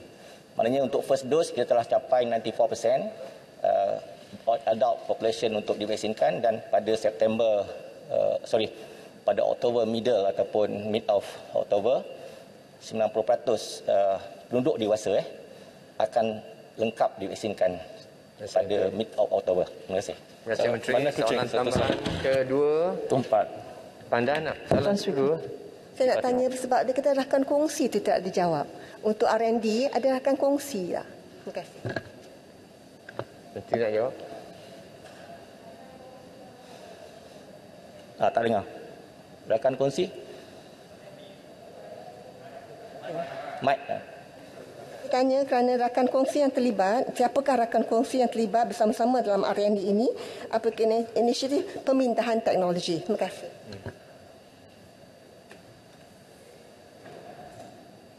Menteri Suchana. Kita memiliki saintis-saintis eh, yang telah pun yang berhormat namakan tadilah Profesor Zali di Universiti Melaya, Datuk Khatijah uh, di uh, UPM, Dr. Nur Azah di IMR eh, yang telah membangunkan uh, clinical, preclinical uh, mRNA dan juga uh, ternyah aktif virus eh. Dan kita telah juga berbincang sekarang ni eh, kolaborasi dengan uh, Universiti Chulalongkorn, Thailand yang mana uh, seorang daripada uh, pembina uh, vaksin mRNA eh, uh, yang berkaitan dengan kolaborasi dengan US telah pun kita hubungi eh, untuk bantu kita di samping uh, komitmen dua syarikat iaitu CanSino dan juga Sinovac untuk memulakan uh, pembinaan vaksin uh, inactivated virus eh, di negara kita dan kita telah mula merundingkan perkara ini selain daripada beberapa lagi usaha yang telah terjalankan berkolaborasi dengan syarikat uh, uh, India daripada India Barat. Terima Menteri. Uh, Bandar Kuching. Saya jemput Satu. dahulu Timur. yang berhormat sini. Uh, di side. Tumpat, Tumpat. sila. Uh, terima kasih uh, Tuan Yang Dipertua. Uh, saya mengucapkan tahniah kepada kementerian iaitu mesti kerana berjaya mencapai kapasiti pemberian vaksin sehingga ke suatu tahap yang tinggi seperti mana yang disebut oleh uh, yang berhormat menteri tadi melebihi 90% populasi dewasa di negara ini. Kita juga lihat pelbagai kelonggaran sekatan uh, mula dibenarkan dalam negara hasil daripada uh, vaksinasi ini. Namun begitu meskipun ramai yang telah menerima vaksin masih terdapat segolongan rakyat Malaysia yang tidak boleh menerima vaksin kerana alahan dan mempunyai penyakit-penyakit tertentu yang tidak membolehkan mereka menerima vaksin kerana dibimbangi kesan yang bakal dihadapi oleh mereka. Saya difahamkan bahawa uh, kerajaan sebelum ini pernah mengeluarkan kenyataan supaya golongan khas ini diberikan suatu sijil khas yang menandakan mereka tidak boleh menerima vaksin dan sebagainya. Jadi saya mahu mengetahui uh, dari segi perkembangannya mengenai sijil khas ini. Terima kasih tempat. Sila Menteri. Terima kasih yang berhormat Empat. Uh, kita telah pun uh, maklumkan bahawa pada 20 hari bulan uh, September yang lepas uh, 80% penduduk dewasa telah pun completed divaksinasikan. Dan uh, tadi saya maklumkan bahawa ada 5.7% penduduk dewasa yang belum lagi mendaftar. Uh, dan dia ada banyak sebab. Uh, ignorant mereka berpindah uh, kemudian uh, uh, comorbidity ya dan juga mereka merupakan di kalangan anti vaxxer serta yang paling penting sekarang ni sukar untuk kita capai. Jadi uh, kepada mereka ni kita masih ada program advokasi ya, masih lagi ada program advokasi supaya mereka terus mendaftar dalam MySejahtera ya, supaya kita boleh um, memvaksinkan mereka dan sekiranya mereka refuse ataupun tidak mahu memvaksinkan bermakna nanti satu ketika KKM akan mengeluarkan perintah eh, ataupun cadangan bagaimana kita boleh terus mengurus pandemik COVID-19 uh, tanpa vaksinasi. Terima kasih. Terima kasih Menteri. Boleh tambah satu. Saya bagi tambah satu lagi kepada yang berhormat Bakri. Terima kasih Tuan Speaker. Se- Sebab saya sudah banyak kali saya tanya uh, tentang kos vaksinasi dan PIK secara keseluruhannya. Uh, tetapi tidak, tidak dapat uh, jawapan yang memuaskan daripada Mosti. Yang pertama adalah daripada 5 bilion ringgit yang diperuntukkan berapa jumlah keseluruhan telah dibelanjakan dan berapakah yang uh, remaining. Dan yang kedua adalah berapakah uh, sebab dari PIKAS kita jual, kita uh, uh, um, kerajaan uh, telah meningkatkan peruntukan ataupun perbelanjaan ataupun mendapat pendapatan daripada penjualan vaksinasi vaksin kepada sektor swasta. Berapakah yang kita dapat dan apakah yang kita dibelanjakan daripada pendapatan tambahan ini? Yang ketiga adalah saya cuma allow satu soalan tambahan. Ini kos terperinci uh, Tuan Speaker sebab ha. saya sudah Dua sidang saya tanya Baik. soalan yang sama tetapi tak dapat jawapan daripada Mosti. Baik. Yang ketiga adalah 70 juta. 70 juta untuk pembangunan MySejahtera, penggalan uh, data dan juga sistem temu janji. Uh, saya, saya tanya berkali-kali siapakah uh, pemenang kontrak tersebut dan dan juga berapakah yang kita telah belanja. Juga tidak dapat uh, jawapan yang memuaskan daripada Mosti. Harap uh, Menteri, Menteri boleh jawab. Sila Menteri, kalau di detail nak tulis. Ya, tulis. detail ni uh, yang amat detail. Bagaimanapun saya akan maklumkan mengenai perbelanjaan yang telah pun dibelanjakan pada 20 Ogos setika, sehingga 20 Ogos untuk program PICK ataupun uh, uh, imunisasi COVID-19 kebangsaan ini uh, sebanyak 2.8 bilion uh, telah pun digunakan di mana untuk membeli vaksin dan juga logistik vaksin kita belanjakan 2.6 bilion. Untuk program penyumbaluran uh, program imunisasi oleh pengamal perkhidmatan swasta kita bayar pada mereka 210 juta. Untuk aset uh, program PICK KKM 19 juta. Bekalan pakai habis termasuk consumable dan diluent 11 juta. Bahan pendidikan vaksin termasuk kad vaksinasi dan borang kebenaran 1.9 million kos pengurusan pelaksanaan pemberian vaksin 1.3 juta dan surveillance uh, pasca imunisasi dan naik taraf sistem uh, di KKM 443 ribu. Tadi saya dah maklumkan untuk uh, Mosti telah belanjakan untuk PICK, pengurusan PIK 314 juta daripada 1 bilion yang diperuntukkan. Ada lebihan, uh, ada belum belum dibelanjakan lagi sehingga tamat program PICK ini. Yang berhormat, uh, berkenaan dengan 70 juta yang mesti gunakan uh, diberikan peruntukan untuk membuat sistem. Bukan semua sistem dibelanjakan 70 juta ya. Kita ada banyak kriteria dan saya akan berikan kepada Yang Berhormat uh, detail tentang perbelanjaan 70 juta tersebut. Terima kasih. Terima kasih. Untuk soalan seterusnya saya menyebut Yang Berhormat Datuk Muhammad Nizar Haji Zakaria Parit. Assalamualaikum warahmatullahi wabarakatuh. Salam sejahtera Datuk Yang Dipertua. Soalan uh, saya nombor tiga. Sila Menteri Alam Sekitar dan Air atau timbalannya menjawab tiga minit.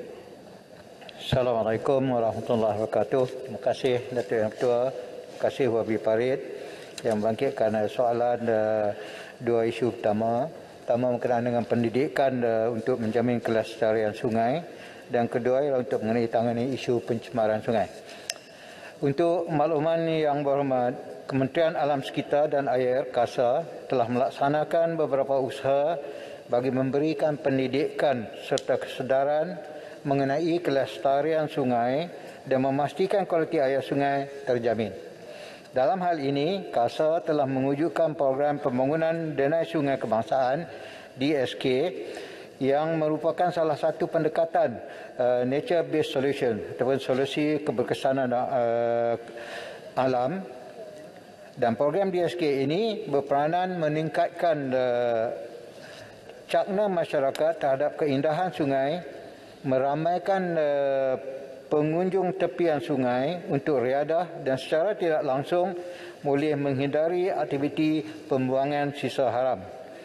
Di samping DSK, terdapat usaha-usaha pendidikan lain iaitu program-program bersama uh, dengan kerjasama bersama termasuk rakan alam sekitar yang mempunyai ahli 157 ribu orang dan sekolah lestari dan green campus di peringkat IPTA contoh di UM, di UTM, di UKM, USM dan di IPTS contohnya di Uniten dan NF, MSU. KASA juga melalui Jabatan Alam Sekitar juga telah mengambil tindakan yang sewajarnya dalam memastikan kejadian pencemaran sungai tidak berulang. Antara langkah-langkah yang diambil oleh Jabatan Alam Sekitar ke arah mencegah pencemaran sungai adalah seperti berikut. Pertama, mempertingkatkan penguasaan Akta Kualiti Alam Sekitar 1974 dengan memfokuskan penguasaan kepada premis-premis yang menghasilkan afluent penindustrian dan terletak di hulu takat pengambilan air. Yang kedua, melakukan program penguasaan secara berfokus kepada industri yang mempunyai risiko menyebabkan pencemaran melalui pelaksanaan operasi khas seperti ops gempur. Tiga, melaksanakan operasi bersepadu yang melibatkan pelbagai agensi penguasaan ke atas punca yang dikenal pasti bermasalah. Yang keempat, pemantauan melalui rondaan dan drone kepada kawasan-kawasan yang dikesankan. Dan kelima, pindaan kepada Akta Kualiti Alam Sekitar 1974 AKAS 1974 bagi meningkatkan denda maksima dan mengenakan denda minima bagi memastikan hukuman setimpal yang dikenakan ke atas penjenayah alam sekitar. Dan seterusnya, mengadakan libat urus termasuk memberi pendedahan dan latihan kawalan pencemaran air dengan konsep total maximum daily load dengan izin uh, kepada semua agensi pemegang taruh yang terlibat dalam pengurusan sumber air di peringkat kerajaan persekutuan dan kerajaan negeri untuk bersama-sama mengawal punca-punca pencemaran air yang tertakluk di bawah kementerian, jabatan dan agensi masing-masing. Sekian, terima, terima kasih. Terima kasih. Sila, Yang Berhormat Parit. Terima kasih, uh, Tuan Ketua. Terima kasih, Menteri. Tanya saya ucapkan kepada Kasar telah pun uh, melancarkan uh, program denai sungai kebangsaan. Uh, saya ingin sebut uh, Sungai Perak juga yang melalui kawasan uh, Parlimen Parit tidak terkecuali. Di mana Sungai Perak kini telah terkesan dengan berlakunya juga pencemaran, hakisan tebing dan juga pembentukan uh, pulau-pulau kecil sedikit sebanyak uh, menghalang atau menyekat laluan air dan ada kalanya cetek. Jadi bersesuaian dengan DSK yang disebut oleh yang berhormat Menteri sementara tadi, saya ingin uh, bertanya setakat ini apakah uh, status masa uh, sasaran dan usaha yang dijalankan oleh pihak kementerian bagi mencapai matlamat program denai sungai kebangsaan tersebut khususnya merujuk kepada kejadian yang berlakunya di Sungai Perak dan lain-lain kawasan yang mungkin terjejas uh, akibat masalah uh, ini. Terima kasih. Terima kasih Parit. Sila Timbalan Menteri satu minit. Terima kasih Tuan Ketua. Terima kasih Parit atas soalan tambahan ini. Uh,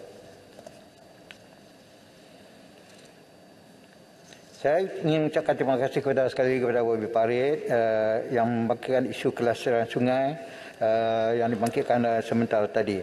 Dan untuk makluman dan apa yang berhormat uh, Parit, kita gunakan dua pendekatan untuk pembangunan dena sungai ini. Yang pertama ialah untuk membina dena yang baru dan yang kedua ialah untuk menambahbaikkan dena yang yang sedia ada. Dan untuk uh, makluman yang berhormat uh, juga panjang di SK yang didaftarkan terkini, nah, yang didaftarkan terkini adalah sepanjang 400 uh, kilometer. Dan sasaran ni apa DSK seperti yang ditetapkan oleh Plan Strategik KASA ialah sepanjang 1000 km pada tahun 2023 kemudian 5000 km pada tahun 2025 dan 10000 km sepanjang menjelang tahun 2030 ya dan KASA juga mensasarkan pembinaan dunia sungai bagi menangani cabaran sosio alam sekitar menjamin kelestarian sungai dan sekaligus mengawal sungai daripada risiko serta aktiviti pencemaran. Melalui program uh, DSK ini, kawasan-kawasan rizab sungai akan dibangunkan sebagai kawasan rekreasi melalui pembinaan danai dan uh, aktiviti pengindahan sungai. Ini secara tidak langsung akan menggalakkan uh, nature-based activities seperti berkelah, memancing dan berbasikal di kalangan komuniti setempat serta merangsang aktiviti ekonomi masyarakat setempat seperti rebirth ecotourism dengan izin. Dan program DSK ini juga akan mewujudkan nilai tanggungjawab bersama dan sense of belonging antara kerajaan persekutuan, kerajaan negeri, badan korporat, badan bukan kerajaan dan komuniti setempat termasuk para uh, pelajar. Dan untuk parit uh, ada uh, spesifik mungkin uh, ada sedikit uh, nota di sini untuk makluman yang berhormat uh, ni apa GPS telah merancang untuk membina dina sungai di Sungai Perak sepanjang dan uh, dana sungai di Bidor uh, sepanjang 350 km dengan anggaran kos RM150,000 yang dijangka dilaksanakan pada tahun 2022. Terima kasih. Terima kasih. Saya tengok ramai yang minat kan ni. Uh, saya jemput yang berhormat pematang Paul. Eh. Terima kasih Speaker di atas peluang saya hargai usaha dilakukan oleh KASA tapi kita maklum bahawa pelaku-pelaku ataupun mereka yang mencemar sungai ya, tidak langsung uh, memperlihatkan ketakutan. September 2020 gangguan air di Selangor berpunca daripada kilang Sungai Sungai Gong. Tindakan diambil. Tapi akhir Ogos satu lagi kilang berasaskan makanan um, telah dikenal pasti sebagai salah satu punca pencemaran melibatkan kesan yang begitu besar kepada 324,000 akaun pengguna. Persoalan saya, uh, daripada tindakan yang diambil, saya cuba mengamati tidak ada uh, diumumkan tentang pindaan kepada undang-undang sedia ada khususnya Akta Industri Perkhidmatan Air 2006, Akta 655 kerana denda maksima 10 tahun penjara tapi tak melebihi RM500,000. Jadi mohon uh, maklum balas terkini memandangkan bahawa kerajaan terdahulu uh, pindaan telah dicadang yang melibatkan bukan sahaja rampasan kenderaan yang disyaki mencemarkan durang kumbahan, tahan orang termasuk denda yang lebih tinggi. Uh, terima kasih speaker. Terima kasih Menteri Pau sila Timbalan Menteri satu minit. Terima kasih Satu Menteri, terima kasih Menteri Pau atas soalan tambahan ini yang uh, prihatin kerana dengan uh, pencemaran, isu pencemaran semua kali di sepanjang sungai. Yang untuk makluman dan apa yang berhormat ya, Akta 1974 Akas 1974 ini peringkat satu ya, di peringkat satu telah pun siap dan telah dikemukakan kepada PUU KASA untuk uh, seterusnya dan untuk ulasan. Nah, ini maknanya telah uh, telah dilaksanakan. Dan seterusnya uh, draft pindaan ini Pak Akas 1974 uh, akan dikemukakan ke pejabat peguam negara ada AG Chambers untuk untuk kelulusan dan KASA melalui JAS um, sasarkan untuk dibentang di parlimen pada suku pertama 2022. Terima kasih. Terima kasih Tuan Menteri. Speaker minta saya perlu teruskan sebab panjang dah masa saya Satu lagi penting untuk speaker. Uh, air penting ni. Saya ingin teruskan dengan menyebut yang berhormat Tuan Makmun bin Sulaiman Kalabakan. Terima kasih Datuk Yang Pertua, Kalabakan ingin bertanya soalan nombor empat. Terima kasih. Sila Menteri Kanan Perdagangan Antarabangsa dan Industri atau timbalannya menjawab. Terima kasih Tuan Yang Dipertua. Eh, kerajaan melalui Kementerian Perdagangan Antarabangsa dan Industri MITI sentiasa memastikan dasar-dasar domestik terus menyokong pertumbuhan ekonomi negara dalam meningkatkan pelaburan-pelaburan baru. Dalam hal ini, kerajaan komited melaksanakan pendekatan berfokus dan pendekatan ekosistem untuk mengukuhkan kedudukan negara sebagai destinasi pelaburan yang kompetitif dan berdaya saing. Bagi melaksanakan dua pendekatan ini, MITI berpandangan bahawa pemboleh dengan izin enabler atau elemen asas bagi pengurusan bagi semua jenis aktiviti pelaburan termasuklah perdagangan ialah perkhidmatan logistik. Dalam perkara ini, kerajaan menggalakkan perkhidmatan logistik bersepadu Integrated Logistics Support ILS sebagai satu cabang industri logistik yang penting terutamanya bagi menangani kesan akibat penularan COVID-19. ILS merujuk kepada syarikat yang melakukan pelbagai aktiviti perkhidmatan berkaitan logistik daripada hujung ke hujung seperti pengangkutan udara, laut, darat dan kereta api, pergudangan dan perkhidmatan serta tambah nilai lain yang membentuk keseluruhan pakej perkhidmatan logistik. Dalam usaha menarik pelaburan asing ke Malaysia, kerajaan melalui MITI dan MAIDA telah mempergiatkan promosi bagi meningkatkan pembangunan industri logistik tempatan dengan melaksanakan program jangkauan, perbincangan meja bulat dan dialog bagi memastikan kerajaan sentiasa dekat dengan syarikat-syarikat ini dalam memperkukuhkan pertumbuhan ekonomi negara.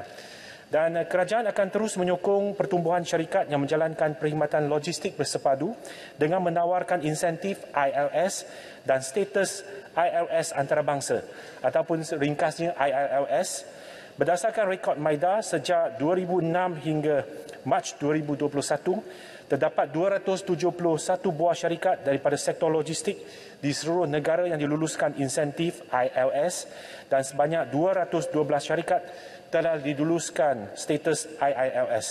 Dalam perkara ini terdapat dua buah syarikat dari Sabah yang telah diluluskan insentif tersebut namun tiada syarikat dari Sabah yang memperolehi status IILS. Eh, kerajaan melalui MITI dan MAIDA juga mengadakan program libat urus dengan syarikat-syarikat logistik di Sabah untuk berkongsi maklumat berkenaan dengan fasiliti dan insentif yang disediakan. Dari segi pembangunan infrastruktur, Tuan Yang Dipertua, Kerajaan Persekutuan telah menyalurkan dana di bawah RMK 10 sebanyak 395 juta untuk projek pembangunan terminal pelabuhan kontena POIC Lahad Datu dan di bawah RMK 12 projek pembesaran pelaburan Sepanggar Bay yang dianggarkan perbelanjaannya ialah 1.027 bilion akan diberi perhatian dan eh, kapasiti pengendalian kontena dijangka dapat ditingkatkan sehingga 875,000 TEU setahun menjelang tahun 2024. Eh, selain itu, beberapa projek bukan fizikal juga telah dilaksanakan di bawah RMK 11 untuk mengenal pasti kekangan dan daya saing dalam bidang logistik di Sabah. Antaranya kajian plan induk hub penerbangan dan logistik flight udara di Sabah dan kajian plan induk pembangunan zon ekonomi bebas di Kota Kinabalu Industrial Park KKIP di mana melalui kajian KKIP akan diwujudkan satu kawasan hub logistik di dalam kawasan KKIP yang akan menyokong usaha menjadikannya pelabuhan kontainer menjadikan pelabuhan kontainer Teluk Sepanggar sebagai regional transshipment hub dengan izin yang penting di dalam kawasan Brunei, Indonesia, Malaysia, Filipin, East ASEAN Growth Area. BIMP-EAGA. Terima kasih, Tuan Ini Betul. Sila soalan pertama pertama Kalabakan. Terima kasih Datuk Yang Bertua. Uh, sistem pengurusan logistik dan pengangkutan yang baik dan cekap di kawasan-kawasan berpotensi adalah fundamental kepada kepada aktiviti e-commerce dan aktiviti perekonomian yang lain. Seperti yang YB Timbalan Menteri ketahui, Sabah dan Sarawak juga berjiran dengan negara lain yaitu Brunei Darussalam dan Kalimantan Indonesia. Negara Brunei Darussalam sekarang sedang membina pelabuhan mega mereka yang dirancang untuk menjadi hub pengeksportan barangan dan kargo keluar dari Borneo. Kalimantan Indonesia terus giat membangun sistem jaringan lebuh raya dan pelabuhan mereka di seluruh Kalimantan. Contoh yang terbaik yang saya boleh bagi di sini ialah Tawau. Pelabuhan Tawau pernah menjadi pusat aktiviti barter trading dan transshipment barangan untuk tujuan ekspor ke selatan Filipina disebabkan ancaman uh, keselamatan yang berlaku selepas terjadinya penjualan di Tanduo Ladatu dan perintah berkurung dikuatkuasakan sehingga hari ini telah aktiviti ini telah dibekukan hampir 4 tahun yang menyebabkan lebih 400 pemain industri logistik dan penghantaran terjejas disebabkan pedagang dan pengimport dari selatan Filipina telah beralih ke pelabuhan negara jiran iaitu pelabuhan Nurukan di Kalimantan. Ya, bagi soalannya Wabi, soalannya. Ya, sekejap. Saya ini ingin saya rekodkanlah peluang terbesar yang Sabah berpotensi untuk memanfaatkan adalah pembukaan sempadan di Kalabakan untuk kita menarik minat pengekspor komoditi seperti arang batu dan barangan hasil pertanian di Kalimantan Utara yang menggunakan perkhidmatan pelabuhan untuk menggunakan perkhidmatan pelabuhan-pelabuhan kita di Sabah laluan perkapalan di Selat Makassar juga semakin popular sekarang. Jadi soalan saya, ah, apakah kementerian melihat dan ingin segera melakukan kajian terperinci untuk pembukaan sempadan di Kelabakan dalam usaha merancangkan aktiviti penawaran perkhidmatan logistik dan penghantaran bagi negeri Sabah. Terima kasih. Bila Timbalan Menteri jawab satu minit. Tuan Yang Dipertua, um, saya ingin menyatakan bahawa sebenarnya uh, banyak sesi libat urus yang telah diadakan oleh MITI dan MAIDA untuk menggalakkan pembangunan uh, sektor logistik di Sabah. Dan uh, sewaktu pandemik kita juga telah melakukan uh, sesi secara uh, maya dengan uh, pemain-pemain industri sektor logistik di Sabah. Jadi uh, kita akan sentiasa mendengar dan juga mengambil perhatian tentang uh, pandangan dan juga pendapat yang disuarakan berkenaan dengan pembukaan sempadan yang disebut oleh YB Kalabakan kerana dia bukan saja melibatkan kementerian uh, MITI hmm. tapi dia juga akan melibatkan kementerian-kementerian yang lain. Hmm. Jadi saya fikir perkara ini uh, akan dibincang dengan kementerian-kementerian lain yang berkaitan berkenaan dengan pembukaan uh, sempadan. Terima kasih. Terima kasih Perdana Menteri. Soalan seterusnya saya menjemput yang berhormat Kota Samarahan. Terima kasih Datuk Yang Dipertua. Uh, soalan Kota Samarahan nombor lima. Minta Menteri di Jabatan Menteri untuk menjawabnya. Tuan Yang Tertua, saya ingin menjawab uh, soalan ini sekaligus dengan soalan dari ahli yang berhormat Bandar Kucing pada hari ini juga serta ahli yang berhormat uh, Lanang, ahli yang berhormat Sibu, ahli yang berhormat Tuan pada 6 bulan Oktober kerana soalan-soalan ini ada berkaitan.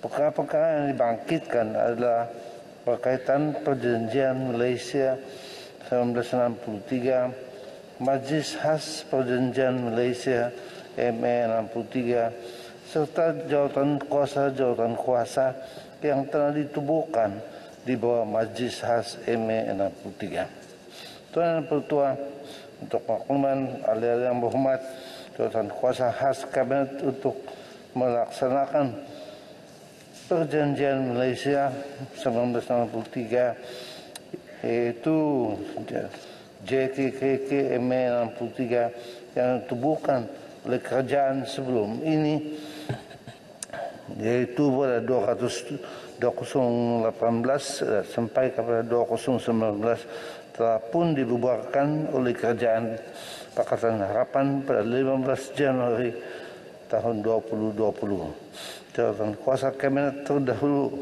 JKK MA 63 adalah persetujuan dasar untuk melaksanakan tuntutan MA63 yang masih memerlukan tindakan lanjut melibatkan perubahan dasar, pindahan undang-undang sama ada di peringkat persekutuan atau peringkat negeri yang melibatkan juga pelbagai kementerian dan pelaksanaan.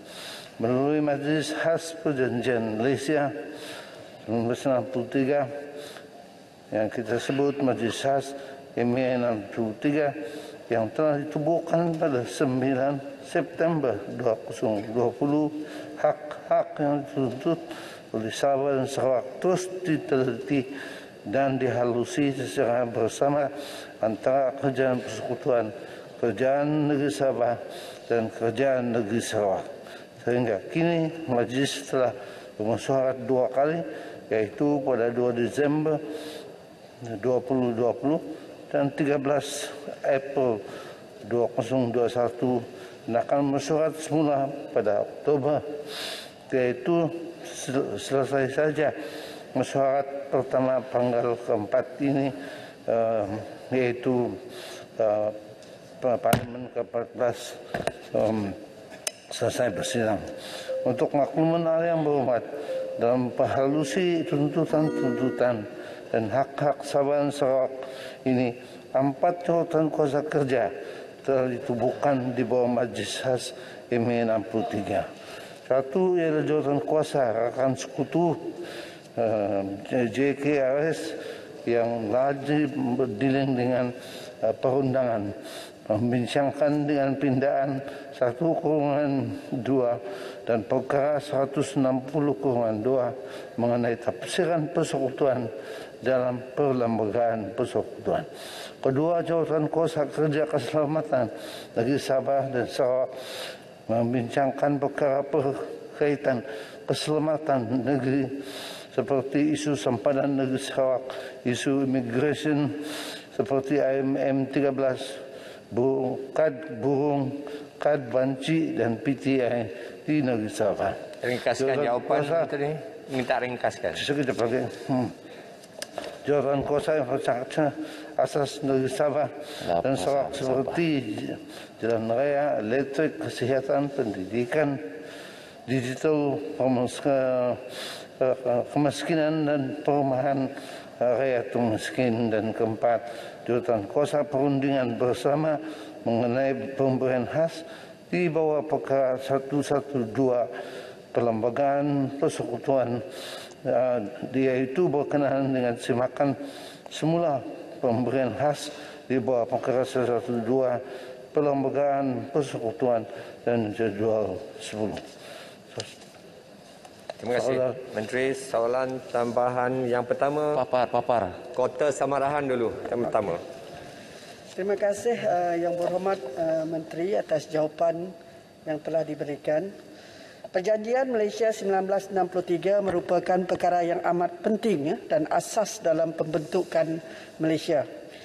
Uh, soalan tambahan saya, uh, apakah langkah yang diperkenalkan oleh kerajaan uh, untuk meningkatkan tahap kesedaran dan pengetahuan rakyat mengenai Perjanjian Malaysia 1963 bukan saja untuk uh, masyarakat di, di Sarawak dan Sabah, malah di peringkat uh, persekutuan, maksudnya di Semenanjung Malaysia. Terima kasih. Terima kasih, Kota Samaran. Sila Menteri. Satu minit. Uh, terima kasih. Um, satu soalan yang semangnya begitu penting sekali. Uh, kita betul membincangkan beberapa perkara di bawah tajuk tersebut. Satu adalah membuat simakan kepada silibus di peringkat sekolah supaya ada sejarah penubuhan Malaysia itu diajar lebih luas di peringkat sekolah khususnya sekolah menengah dan juga di peringkat uh, uh, tertiary institution. Dan dalam hal ini kita telah mulai dengan kementerian uh, pendidikan sekaligus juga dengan kementerian Kementerian Perpaduan. Supaya lebih luas pengertian. Di peringkat negeri Sabah eh, khususnya saya rasa kerajaan negeri Sarawak kerajaan negeri Sabah juga telah memulakan program uh, pengedaran maklumat khasnya bagi mereka di kalangan uh, belia dan beliawanis. Terima kasih Menteri. Mana papar, papar, papar. Kota Belut. Papar. Papar. Kota Belut. Uh, dia papar. tanya Terima kasih untuk jawapan Datuk yang dipertua. Soalan saya juga berkenaan dengan MI 63. Adakah kerajaan persekutuan pernah mengantar laporan kemajuan ataupun progress report negeri Sabah ke pertubuhan bangsa-bangsa bersatu? Kalau ada, bolehkah kerajaan memberi selinan kepada negeri Sabah? Dan kalau tidak ada, mengapa? Adakah ini tidak akan melanggar? Dan adakah ini tidak akan ada implikasi undang-undang dalam pembentukan Malaysia? Terima kasih. Boleh tambah soalan? Boleh tambah soalan. Sila menteri jawab uh, penambang dalam perkara ini um, sebenarnya kita cukup terbuka. Di peringkat parlimen pun kita jawab hampir semua soalan yang di di pohon uh, mengenai dengan perkembangan dan fokus yang telah dilakukan oleh majlis khas. Dan jadi begitu kita begitu terbuka uh, sekali ya se sebenarnya mengenai dengan membuat laporan uh, terakhir kerja masih lagi berterusan dan sebahagian khususnya hal-hal yang berkaitan dengan perundangan uh, khususnya mengenai dengan perbincangan uh, minyak dan gas ini masih berterusan dan tidak boleh diedarkan uh, sebelum lagi selesai.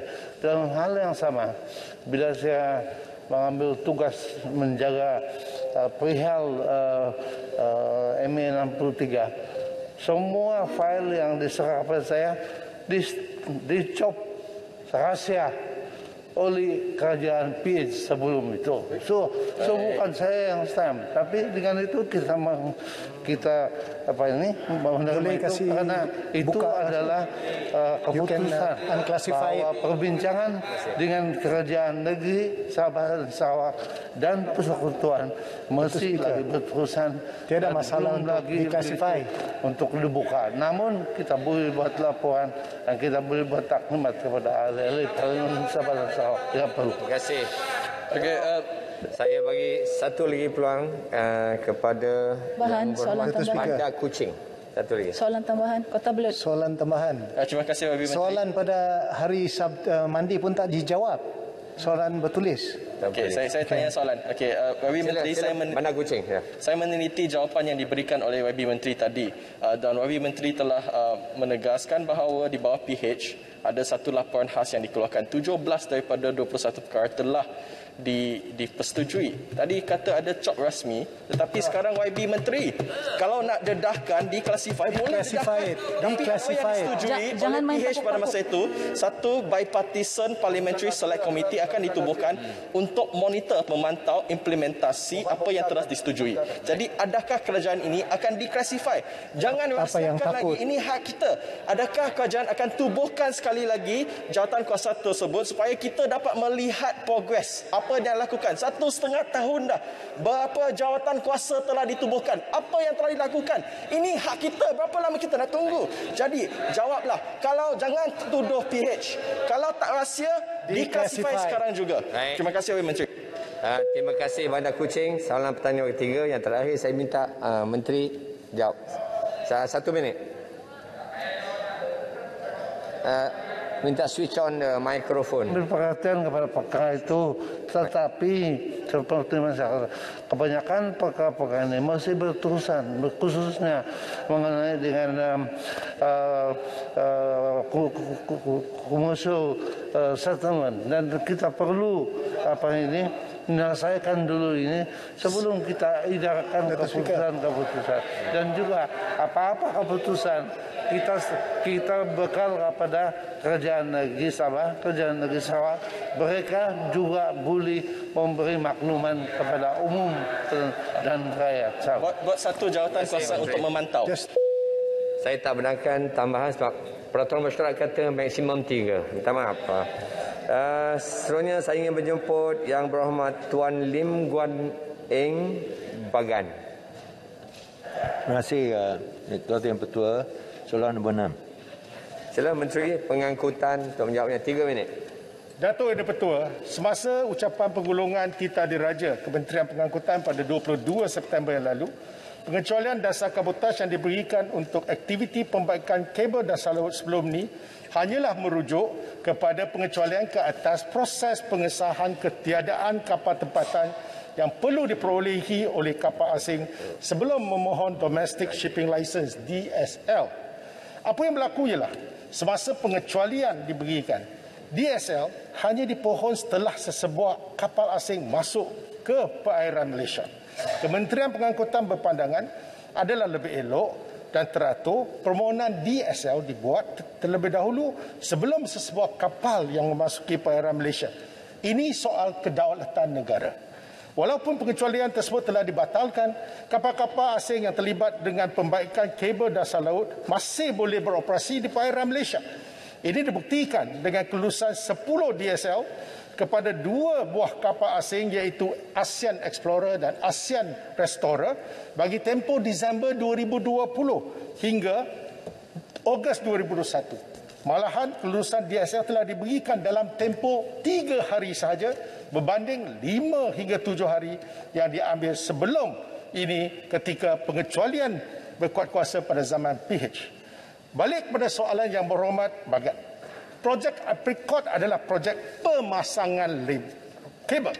Baik semasa zaman pemerintahan BN, PH atau kerajaan sekarang di mana polisinya tetap sama iaitu masih tertakluk kepada dasar kabotaj yang diamalkan sejak tahun 1980. Pengecualian dasar kabotaj sekarang hanyalah kepada kerja pembaikan kabel dasar laut ini dan ianya tidak menghalang kemasukan pelaburan asing dalam industri digital.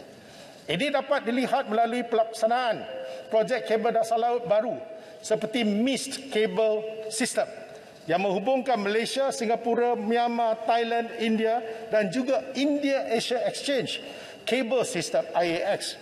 Sistem kabel dasar laut Apricot akan menghubungkan Singapura, Jepun, Guam, Filipina dan juga Indonesia. Seperti mana yang telah diumumkan oleh syarikat Arus Restu, Sedia Berhad iaitu syarikat tempatan yang bertanggungjawab membina stesen pendaratan kabel dasar laut untuk sistem kabel MIS di Selangor pada 23 Ogos 2021. Sistem kabel MIS akan disambungkan dengan sistem kabel apricot untuk menyediakan laluan alternatif yang menghubungkan pelbagai bandar utama di Asia Pasifik dengan selamat dan meningkatkan lagi kapasiti internet di rantau ini. Penghubungan kedua-dua sistem ini juga akan menyambungkan Malaysia secara terus dengan Guam, Jepun dan juga Taiwan. Berdasarkan hasil perbincangan dalam mesyuarat yang dilaksanakan oleh KKMM berhubung perkara ini pada 9 September 2021, penglibatan atau ketidakpenglibatan Malaysia dalam projek apricot atau projek-projek lain adalah berdasarkan kepada pelbagai faktor termasuklah tawaran yang diberikan dan syarat yang ditetapkan oleh Tech Giant. Oleh demikian, pelaksanaan dasar kabotaj tidak wajar dipersalahkan sebagai satu-satu faktor saja apabila Malaysia tidak terlibat dalam projek tersebut apatah lagi lagi projek apricot adalah projek pemasangan kabel yang tertaluk kepada pematuan dasar kabotaj sejak 1980 termasuk zaman pemerintahan PH pun tidak memindanya. Kementerian Pengangkutan akan terus menambah baik sistem penyampaian perkhidmatan yang telah dilaksanakan ke atas proses permohonan DSL melalui penaik tarafan sistem elektronik DSL iaitu EDSL. Kementerian juga berpandangan bahawa kerajaan perlu mengimbangi inisiatif dan usaha pelaburan digital pihak luar dengan usaha-usaha membina kapasiti industri perkapalan tempatan, mengurangkan kebergantungan negara kepada kapal asing serta memastikan keselamatan dan kedaulatan negara terjamin agar tidak menjejaskan kepentingan negara. Terima kasih. Terima kasih Menteri Sela Bagan. Soalan tamam pertama. Sila. Terima kasih, Betul. Uh, saya ucapkan terima kasih jawapan yang diberikan oleh Yang Berhormat Menteri Ketengahutan. Tapi saya agak kesal bahawa Yang Berhormat Menteri tidak menjawab soalan di mana bila kita sebut tentang pelaburan luar negeri iaitu yang bernilai tinggi dan juga berteknologi tinggi khususnya dalam sektor digital yang tidak mau datang ke Malaysia untuk buat pelaburan. Dan saya nak sebut di sini dengan izin in August there were new report, news reports that Apricot, Facebook and Google new subsea cable aimed at boosting regional connectivity would bypass Malaysia entirely. Facebook said in a statement that the cable system expected to launch in 2024 would provide an initial design capacity of more than 190 terabytes per second to meet rising data demand in the region and support the upcoming Echo and Bifrost cables, which will also not connect to Malaysia. Without submarine cables, data centers will not flourish. And at that point, how can we attract digital investments that matter? Dan saya perhatikan di sini, Yang Berhormat Menteri is in a state of denial. Tak mau mengakui bahawa dasar kabotaj beliau yang silap telah menghalau pelaburan-pelaburan yang sepatutnya datang ke Malaysia. Saya sebut di sini, ini bukan dari pembangkang. Ini bukan datang dari pembangkang. Ini datang daripada pengurusi MDEC, Dr. Rais Husin. Iaitu daripada kerajaan sendiri yang menyatakan bahawa yang berhormat menteri silap dan menyebabkan pelaburan luar negeri di antara 12 hingga 15 bilion ringgit tidak akan melabur ke Malaysia. Nah, sekiranya dalam kerajaan MDEC satu JLC specialist untuk menarik pelaburan luar negeri tidak datang ke Malaysia dan mempersalahkan yang berhormat menteri. Bolehkah yang berhormat menteri sebutkan di sini? Kalau kita silap, kita betulkan demi kepentingan nasional. Itu tidak jadi masalah. Yang Asalkan masa depan soalan-soalan. Ya ya ya, asalkan masa depan. Itu, itu soalan bolehkah dasar kabotaj ini dibatalkan? Kerana semua pun yang beruang menteri cakap tidak ada kaitan. Tapi pengurusi MDEC sendiri cakap soalan kalau apa ni? Itu pelaburan luar negeri sebanyak 12 hingga 15 bilion. Tak faham. Bolehkah? Okay. No, I'm soalan, asking soalan. a question. I'm asking a question. So bolehkah uh, Ask itu question lah. uh, dasar kabotaj ini bolehkah ya dibatalkan supaya okay. kita tidak kehilangan pelaburan seperti mana yang disebut oleh MDEC, pengurusi MDEC sendiri. Okey. Ini perkara penting supaya we not only protect Muhammad. Tak ada tak ada perbahasan, tak ada bahasan. Tolong, tolong. Dengan harap jangan mengelirukan Dewan yang mulia ini. Dengan jawapan yang ini. tidak berasas. Terima kasih. Terima kasih Yang Berhormat Datuk Yang Dipertua. Izinkan saya sedikit masa untuk mengizin untuk menerangkan pada Yang Berhormat Bagan ini.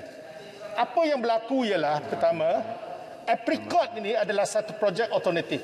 Apabila berlakunya perang uh, perniagaan iaitu trade war antara US dengan uh, China pada tahun 2015, sebelumnya semua kabel lama O cable daripada Hong Kong, Japan ke Singapura. Kawasan ini ada kawasan yang banyak kabel lama. Apabila berlakunya trade war, mereka telah memulakan satu laluan alternatif menggunakan apricot dari asal eh, dihilangkan pada masa itu dan mereka melalui Pacific Ocean. Pacific Ocean dari segi geografinya tidak melalui Malaysia. Dia melalui Jepun, Taipei, Filipina, masuk ke lautan Jawa dan Makassar terus ke Singapura. Ininya 12 kilo 12,000 kilometer apricot. Ini pemasangan kabel. Dasar kabotaj kita ialah pembaikan dua perkara yang berlainan pemasangan masih tertakluk kepada dasar kabotaj sejak Tun menjadi Perdana Menteri. Itu memang ada. Apa yang berlaku sekarang, yang berhormat gunakan soal pembaikan. Tapi projek ini adalah pemasangan. Apa yang pengusi MDEC kata itu tak betul. Kerana dasar kabotaj ini hanya diguna pakai dalam konteks pembaikan bukannya pemasangan. Itu pertama. Kedua, Muhammad tanya, sama ada kita bincang? Kita bincang. Pada 9 September yang lalu, semua kementerian duduk berbincang termasuk KPDN HEP, termasuk juga KKMM dan KDN. Kita mengambil pandangan semua mengimbangi kedaulatan negara. Ini penting. Yang sebelum ini kita benarkan mereka masuk, mereka tak perlu minta DSL, Domestic Shipping License untuk masuk ke Malaysia. Sekarang kita bagi tiga hari kalau tak ada kapal Malaysia, benarkan mereka bawa. Sudah ada bukti 10 buah kapal asing masuk. Tak wujud kata kita menyekat mereka masuk. Pemasangan dengan pembaikan dua perkara konsep yang berlainan. Itu saya minta yang Muhammad baca balik. Kenyataan yang dibuat oleh Arus Restu, syarikat yang tengah buat MIS. Apa yang saya terangkan tadi, MIS ini daripada India ke Singapura. Singapura ke Jepun. Dua rangkaian membentuk satu sistem. Yang memulakan projek Apricot ini adalah NTT daripada Jepun. Yang projek daripada MIS ni sebenarnya NTT juga adalah pemegang saham utama dalam syarikat Orient Link Limited. Yang Muhammad boleh semak, yang Muhammad sebagai bantan Menteri Kewangan. Kedua-dua daripada satu bapa yang sama, sekarang dikatakan kesaling hubungan itu ada antara Malaysia dengan semua negara. Jadi soal bypass peruntukan Malaysia itu tidak masuk akal. Saya sedia berdebat dengan Yang Berhormat. Dulu kata saya tak layak tak jadi Presiden MC. Sekarang saya mencabar satu jam kita boleh bincang di apa bicara apa-apa program kita bincang. Terima kasih. Soalan tambahan nombor dua kena sebelah sini. Maaf, Yang Berhormat. Yang Berhormat ini bukan uh, sesi pembahasan. Maaf, maaf, maaf. Soalan tambahan nombor dua, ada siapa di sini? Kalau tak ada, saya bagi Yang Muhammad Bagan. 30 saat Yang Muhammad, tolong. Tak ada pembahasan, tak ada pembahasan. Tadi Yang Berhormat Menteri menyatakan, saya terima cabaran daripada YB Menteri. Bila-bila tetapkan masa, saya akan datang. Saya nak tanya Yang Berhormat Menteri cara sebut bahawa pengurusi MDEC silap pengurusi MDEC Rais Hussein cakap tak betul. Kalau sekarang anda bergantung kepada laporan daripada syarikat swasta untuk menghentam seorang pengurusi daripada syarikat berkanun daripada kerajaan. Saya nak tanya, adakah Rais Hussein akan dipecat? Adakah apa yang dia sebut sebagai ber, uh, kepakaran? Sekarang yang Beruang Menteri menolak sama sekali. Alright. Siapa yang betul sekarang? Terima kasih. Because the issue here is tak ada tak ada isu lah. Faham, faham. Soalan tu dipahami. Soalan tu difahami. Yang Muhammad Menteri silakan. Krisha Okey. Apakah 12 dengan hingga 15 bilion punya pelaburan luar negeri? Yang Muhammad tolong. Yang bawa bagan. Yang bawa bagan. Yang bawa bagan tolong duduk. Ya. Bawa Menteri. Datuk ya. Speaker, tiga saat saya jawab. Senang saja. Ya. Buktikan pada saya cadangan asal apricot melalui Malaysia. Kontrak dokumen saya pernah tengok. Tak ada. Dia melalui Pacific Ocean. Mana ada? Kedua, mesti melalui Selat Melaka, maka projek MIS itu dihubungkan pada apricot. Yang berhormat, ini common sense. No, you are not answering a question. Dan kedua, I'm asking about kedua, foreign. Yang berhormat. Yang berhormat Menteri tengah jawab. Dasar kabotaj. Dasar kabotaj adalah saya tengah jawab yang berhormat. Ah, bagan duduk. Yang berhormat, dasar kabotaj di bawah kekuasa Menteri Pengangkutan. Dimulakan dengan tahun 1980. Kenapa kita bagi? Boleh tanya pada Yang Berhormat Langkawi. Dulu tak ada setitik pun minyak petroleum dibawa oleh kapal Malaysia. Sekarang sudah ada. Dalam konteks ini, kita bagi kapal asing masuk ke Malaysia. Tapi masuk ke rumah, bagi salam, ketuk pintu kerana ini kedaulatan kita. Takkanlah kita tak boleh bagi peluang. Kalau tak ada, kita benarkan. So what's the issue? Pemasangan masih tertaluk zaman yang berhormat Seremban pun tak pindah pasal pemasangan. Ini yang berhormat sebut pemasangan apricot. Dia bukan pembaikan. Yang berhormat bawa dasar tentang pembaikan. Jadi tak ada correlation langsung. Yang berhormat pengusi MDEC yang kata yang disebut oleh yang berhormat tadi. Ini bukan kuasa saya memecat sesiapa. Kita berbincang secara profesional. Yang berhormat kena faham profesional. Dan ini bukan saya ambil daripada pasar malam. Semua data itu saya boleh hantar kepada Yang Berhormat untuk baca. Terima kasih. Terima kasih Yang Berhormat Menteri. Uh, yang Berhormat Bagan. Yang Berhormat Bagan. Tolong, tolong. Bagan. Bagan. Bagan duduk. Seterusnya saya ingin menjemput Yang Berhormat Tuan Nik Muhammad Abdul. Silakan. Terima kasih Datuk Tuan Yang Dipertua. Soalan saya nombor tujuh. Terima kasih. Persilakan Yang Berhormat Timbalan Menteri. Tuan Yang Dipertua. Kerajaan telah melancarkan agenda My Digital bagi menjayakan aspirasi transformasi Malaysia menjadi negara berpendapatan tinggi yang berpacukan teknologi dan pendigitalan serta sebagai peneraju serantau dalam ekonomi digital. Usaha untuk memperhebatkan ekonomi digital akan dilaksanakan dengan menyediakan persekitaran yang menyokong pertumbuhan, memperkukuh penyediaan infrastruktur dan perkhidmatan digital serta membangunkan bakat digital tersedia masa hadapan. Dalam hal ini, kerajaan telah mengambil berbagai langkah proaktif antaranya seperti berikut. Uh, menubuhkan majlis ekonomi digital dan 4IR negara bagi menetapkan, melaksana serta memantau dasar strategi dan inisiatif serta menyediakan perkhidmatan dalam talian termasuk perkhidmatan dan talian peringkat awal ke akhir penerima gunaan teknologi digital dalam penyampaian sektor awam dan membelah cara perniagaan dan perkembangan ekonomi digital. Selaras dengan usaha yang telah dilaksanakan, kerajaan melalui rancangan Malaysia ke-12 akan terus komited dengan memberi tumpuan untuk melonjakkan pendigitalan dan teknologi termaju bagi membangunkan ekonomi berasaskan teknologi tinggi.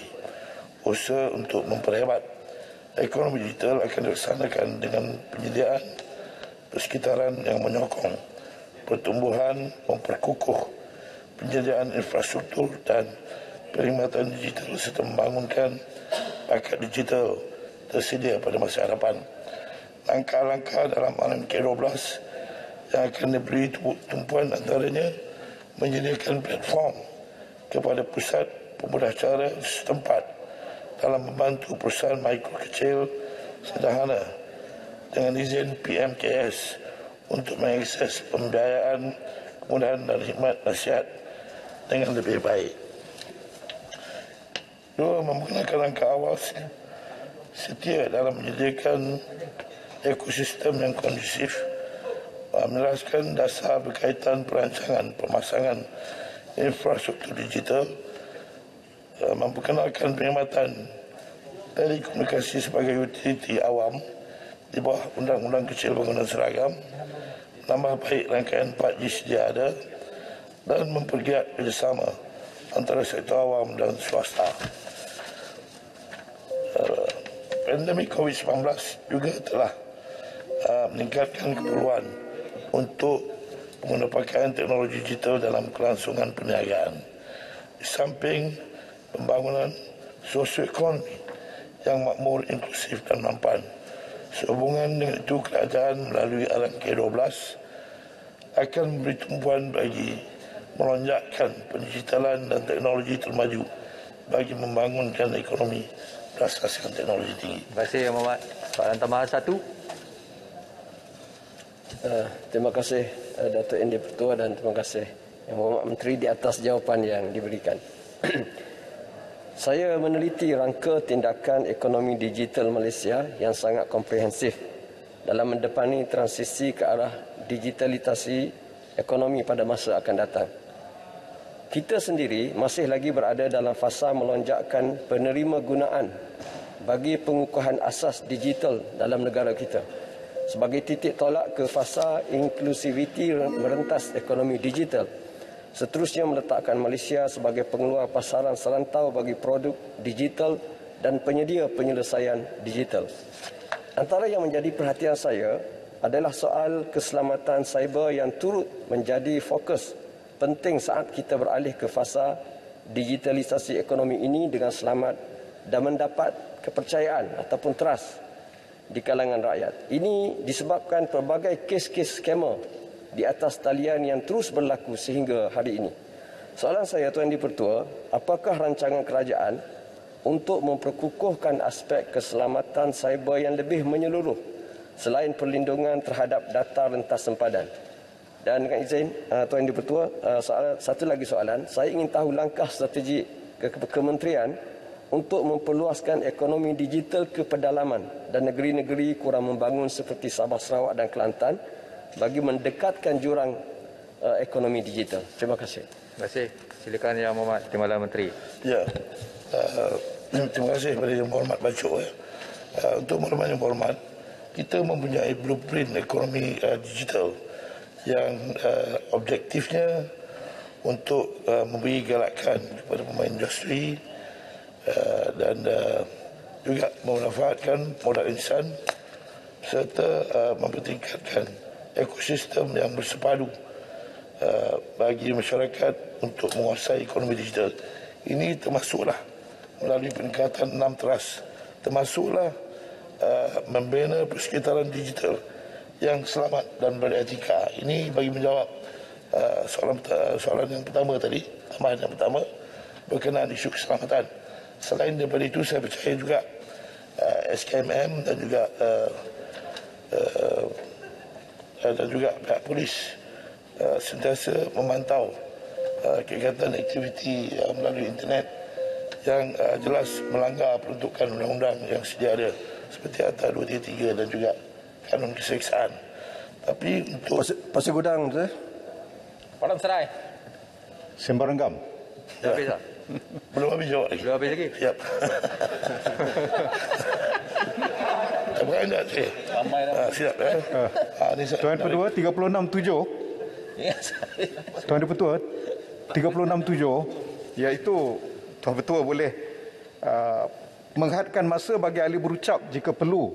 Saya daripada Kota Marudu dan Kuala Pilah saya tak tahu orang lain. Tapi kami tak faham apa yang mereka cakap dan tak dengar. Saya kira, saya kira sepatutnya bagi pihak menteri yang menjawab perlu jelas jawapannya. Sebab kami yang bertanya inginkan jawapan jelas. Jika tidak diberikan apa ni jawapan bertulis ataupun diwakilkan kepada menteri ataupun timbalan menteri.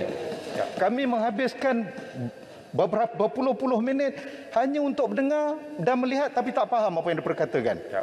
terima kasih tuan terima kasih. Tuan itu tu. Yang, yang berhormat uh, timbalan menteri boleh cakap kuat sikit. Ya. Yang Berhormat Sebarangam. Itu tukuran sekarang soalan. Ya, ya. Terima kasih atas uh, tukuran. Ya. suara saya ni agak apa. Tuan Ketua, 367 tu interpret dia tak betul tu. 367 nama Sri Paduka Baginda Yang Dipertuan Agong atau nama Raja-Raja Melayu Ya, atau tapi- tuan-tuan Yang Dipertuan tuan yang terutama yang dipertua yang dipertua negeri tidak boleh digunakan bagi mempengaruhi majlis mesyuarat. Tak betul tu. Si Parlimen sebut 367. Uh, tak betul. 367. Kalau tak betul biasa sambung jawapan. Mana betul? Inter, bagi bagi sebut yang betul lah. Rusi Parga. Kalau tak boleh. Kalau tak betul, Ini sudah sudah apa, apa. Itu soalan uh, soalan uh, am lah sebenarnya. Silakan uh, Yang Muhammad Menteri, jangan jangan kita buang masa. 357 Tuan Ya, Ketua. ya. Terima kasih. Ya. Jadi uh, di samping penerangan yang saya berikan, saya akan berikan jawapan bertulis sebab suara saya tak berapa jelas. Ya. ya.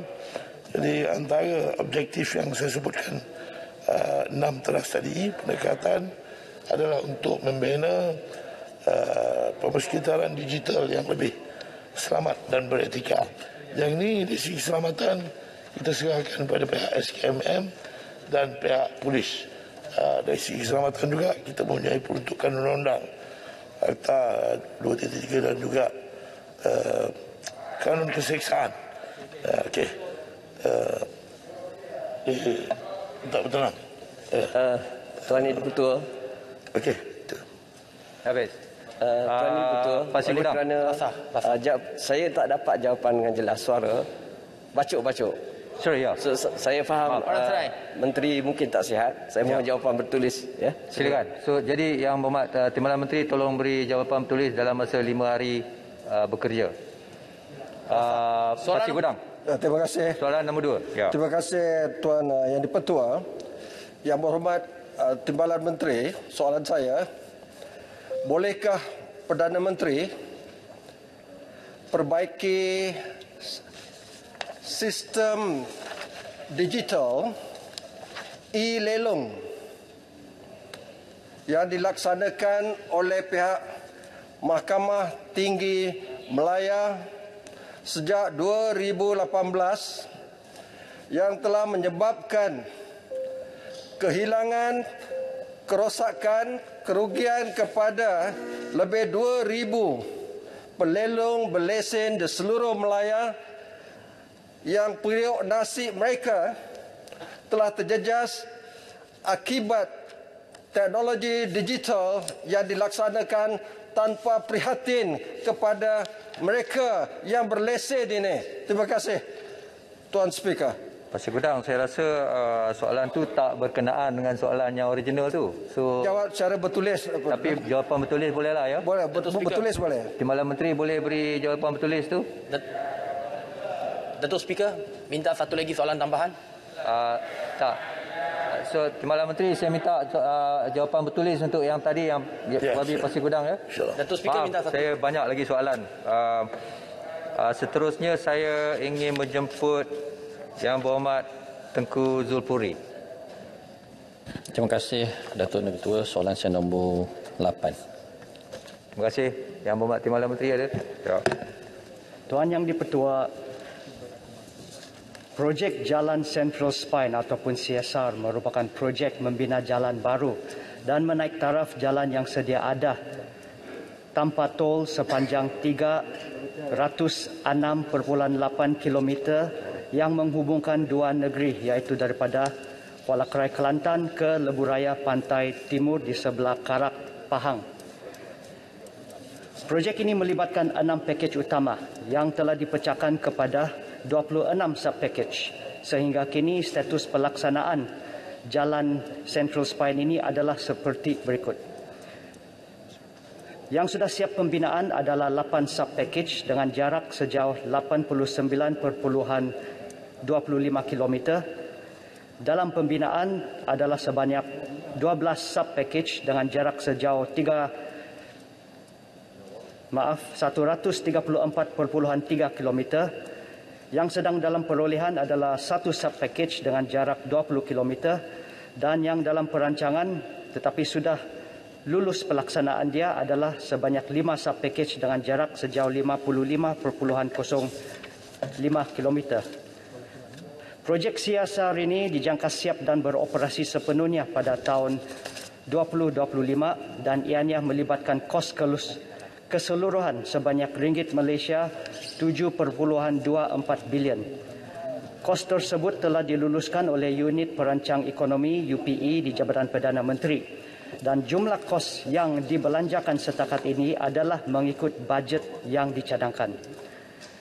Untuk maklumat ahli yang berhormat, apabila siap sepenuhnya jalan Central Spine ini, ia akan bersambung dengan lebuh raya Kota Baru ke Kuala Kerai Kelantan bagi meningkatkan accessibility dan mobility laluan ke Pantai Timur. Ini adalah sebahagian daripada jajaran yang diperakukan oleh laporan Highway Network Development Plan 2030 ataupun HNDP 2030. Berarti bahawa secara kesimpulannya jarak daripada Kota Baru ke persimpangan LPT akan dikurangkan daripada 452 km ke 418 km dan merupakan penjimatan sebanyak 34 km dan masa juga akan dikurangkan daripada 7 jam ke 4.5 jam sahaja dan merupakan impak yang besar kepada semua pengguna jajaran tersebut. Sekian dan terima kasih. Terima kasih. Yang. Soal, soalan tambahan. Terima kasih uh, Timbalan Menteri. Okey, um, soalan tambahan saya. Pada awal Januari 2021 ya, banjir besar seperti 1971 telah berlaku di kampung-kampung tradisi di Parlimen Raub. Sebahagian daripada jajaran jalan Spine Road ini telah ditenggelami air banjir seperti jalan ke Ulu Renggul, Kampung Ajal, Kampung Kuala Dong, Kampung Chenua, Kampung Pia serta Kampung Sengkela. Soalan saya, adakah reka bentuk baru bagi mengatasi banjir ini? Jika ya, berapakah kos tambahan dan adakah skedul Jawa siap akan berubah? Terima kasih. Terima kasih. Yang Muhammad semua sebenarnya tadi uh, yang Muhammad Tengku itu itulah contohnya soalan tambahan sepatutnya ditanya. Right to the point. Ya, silakan. Yang Muhammad Timbalan Menteri. Terima kasih YB daripada Raup. Untuk makluman ahli yang berhormat, Central Spine Road yang terlibat di daerah Raup adalah melibatkan pakej 4 dan 5 dan juga, dia juga melibatkan 5 sub package iaitu daripada Ladang Jelo ke Segalama, Segalama ke Kuala Dong, Kuala Dong ke Kampung Tanah Bercangkul, Raup Bypass dan juga Kampung Orang Asli Sungai Candan ke Kampung Asap Siap. Apabila kita membuat semakan tentang aduan-aduan banjir di kawasan ini, khususnya di kawasan Raub ataupun di Pahang se sepanjang jajaran CSR ini. Setakat ini JKR sebenarnya belum lagi menerima laporan mengenai masalah banjir yang melibatkan kawasan penduduk setempat. Maka dengan itu, JKR ataupun KKR akan sentiasa mengambil maklum tetap terhadap isu-isu yang timbul di kawasan sini. Uh, Masalah banjir sebenarnya susah dielakkan waktu pembinaan dan kita akan sentiasa usahakan supaya insiden banjir itu boleh dikurangkan sewaktu pembinaan tetapi kita yakin bahawa masalah seperti ini boleh diatasi apabila siap pembinaan siap dan kita akan usahakan untuk memastikan bahawa pembinaan CSR ini akan disiapkan on time and juga within budget. Sekian dan terima kasih. Terima kasih. Uh, yang Bapak Menteri pun uh, sebegitulah tadi jawapan contoh jawapan yang sepatutnya di, dijawab. Jitu ringkas tetapi jitu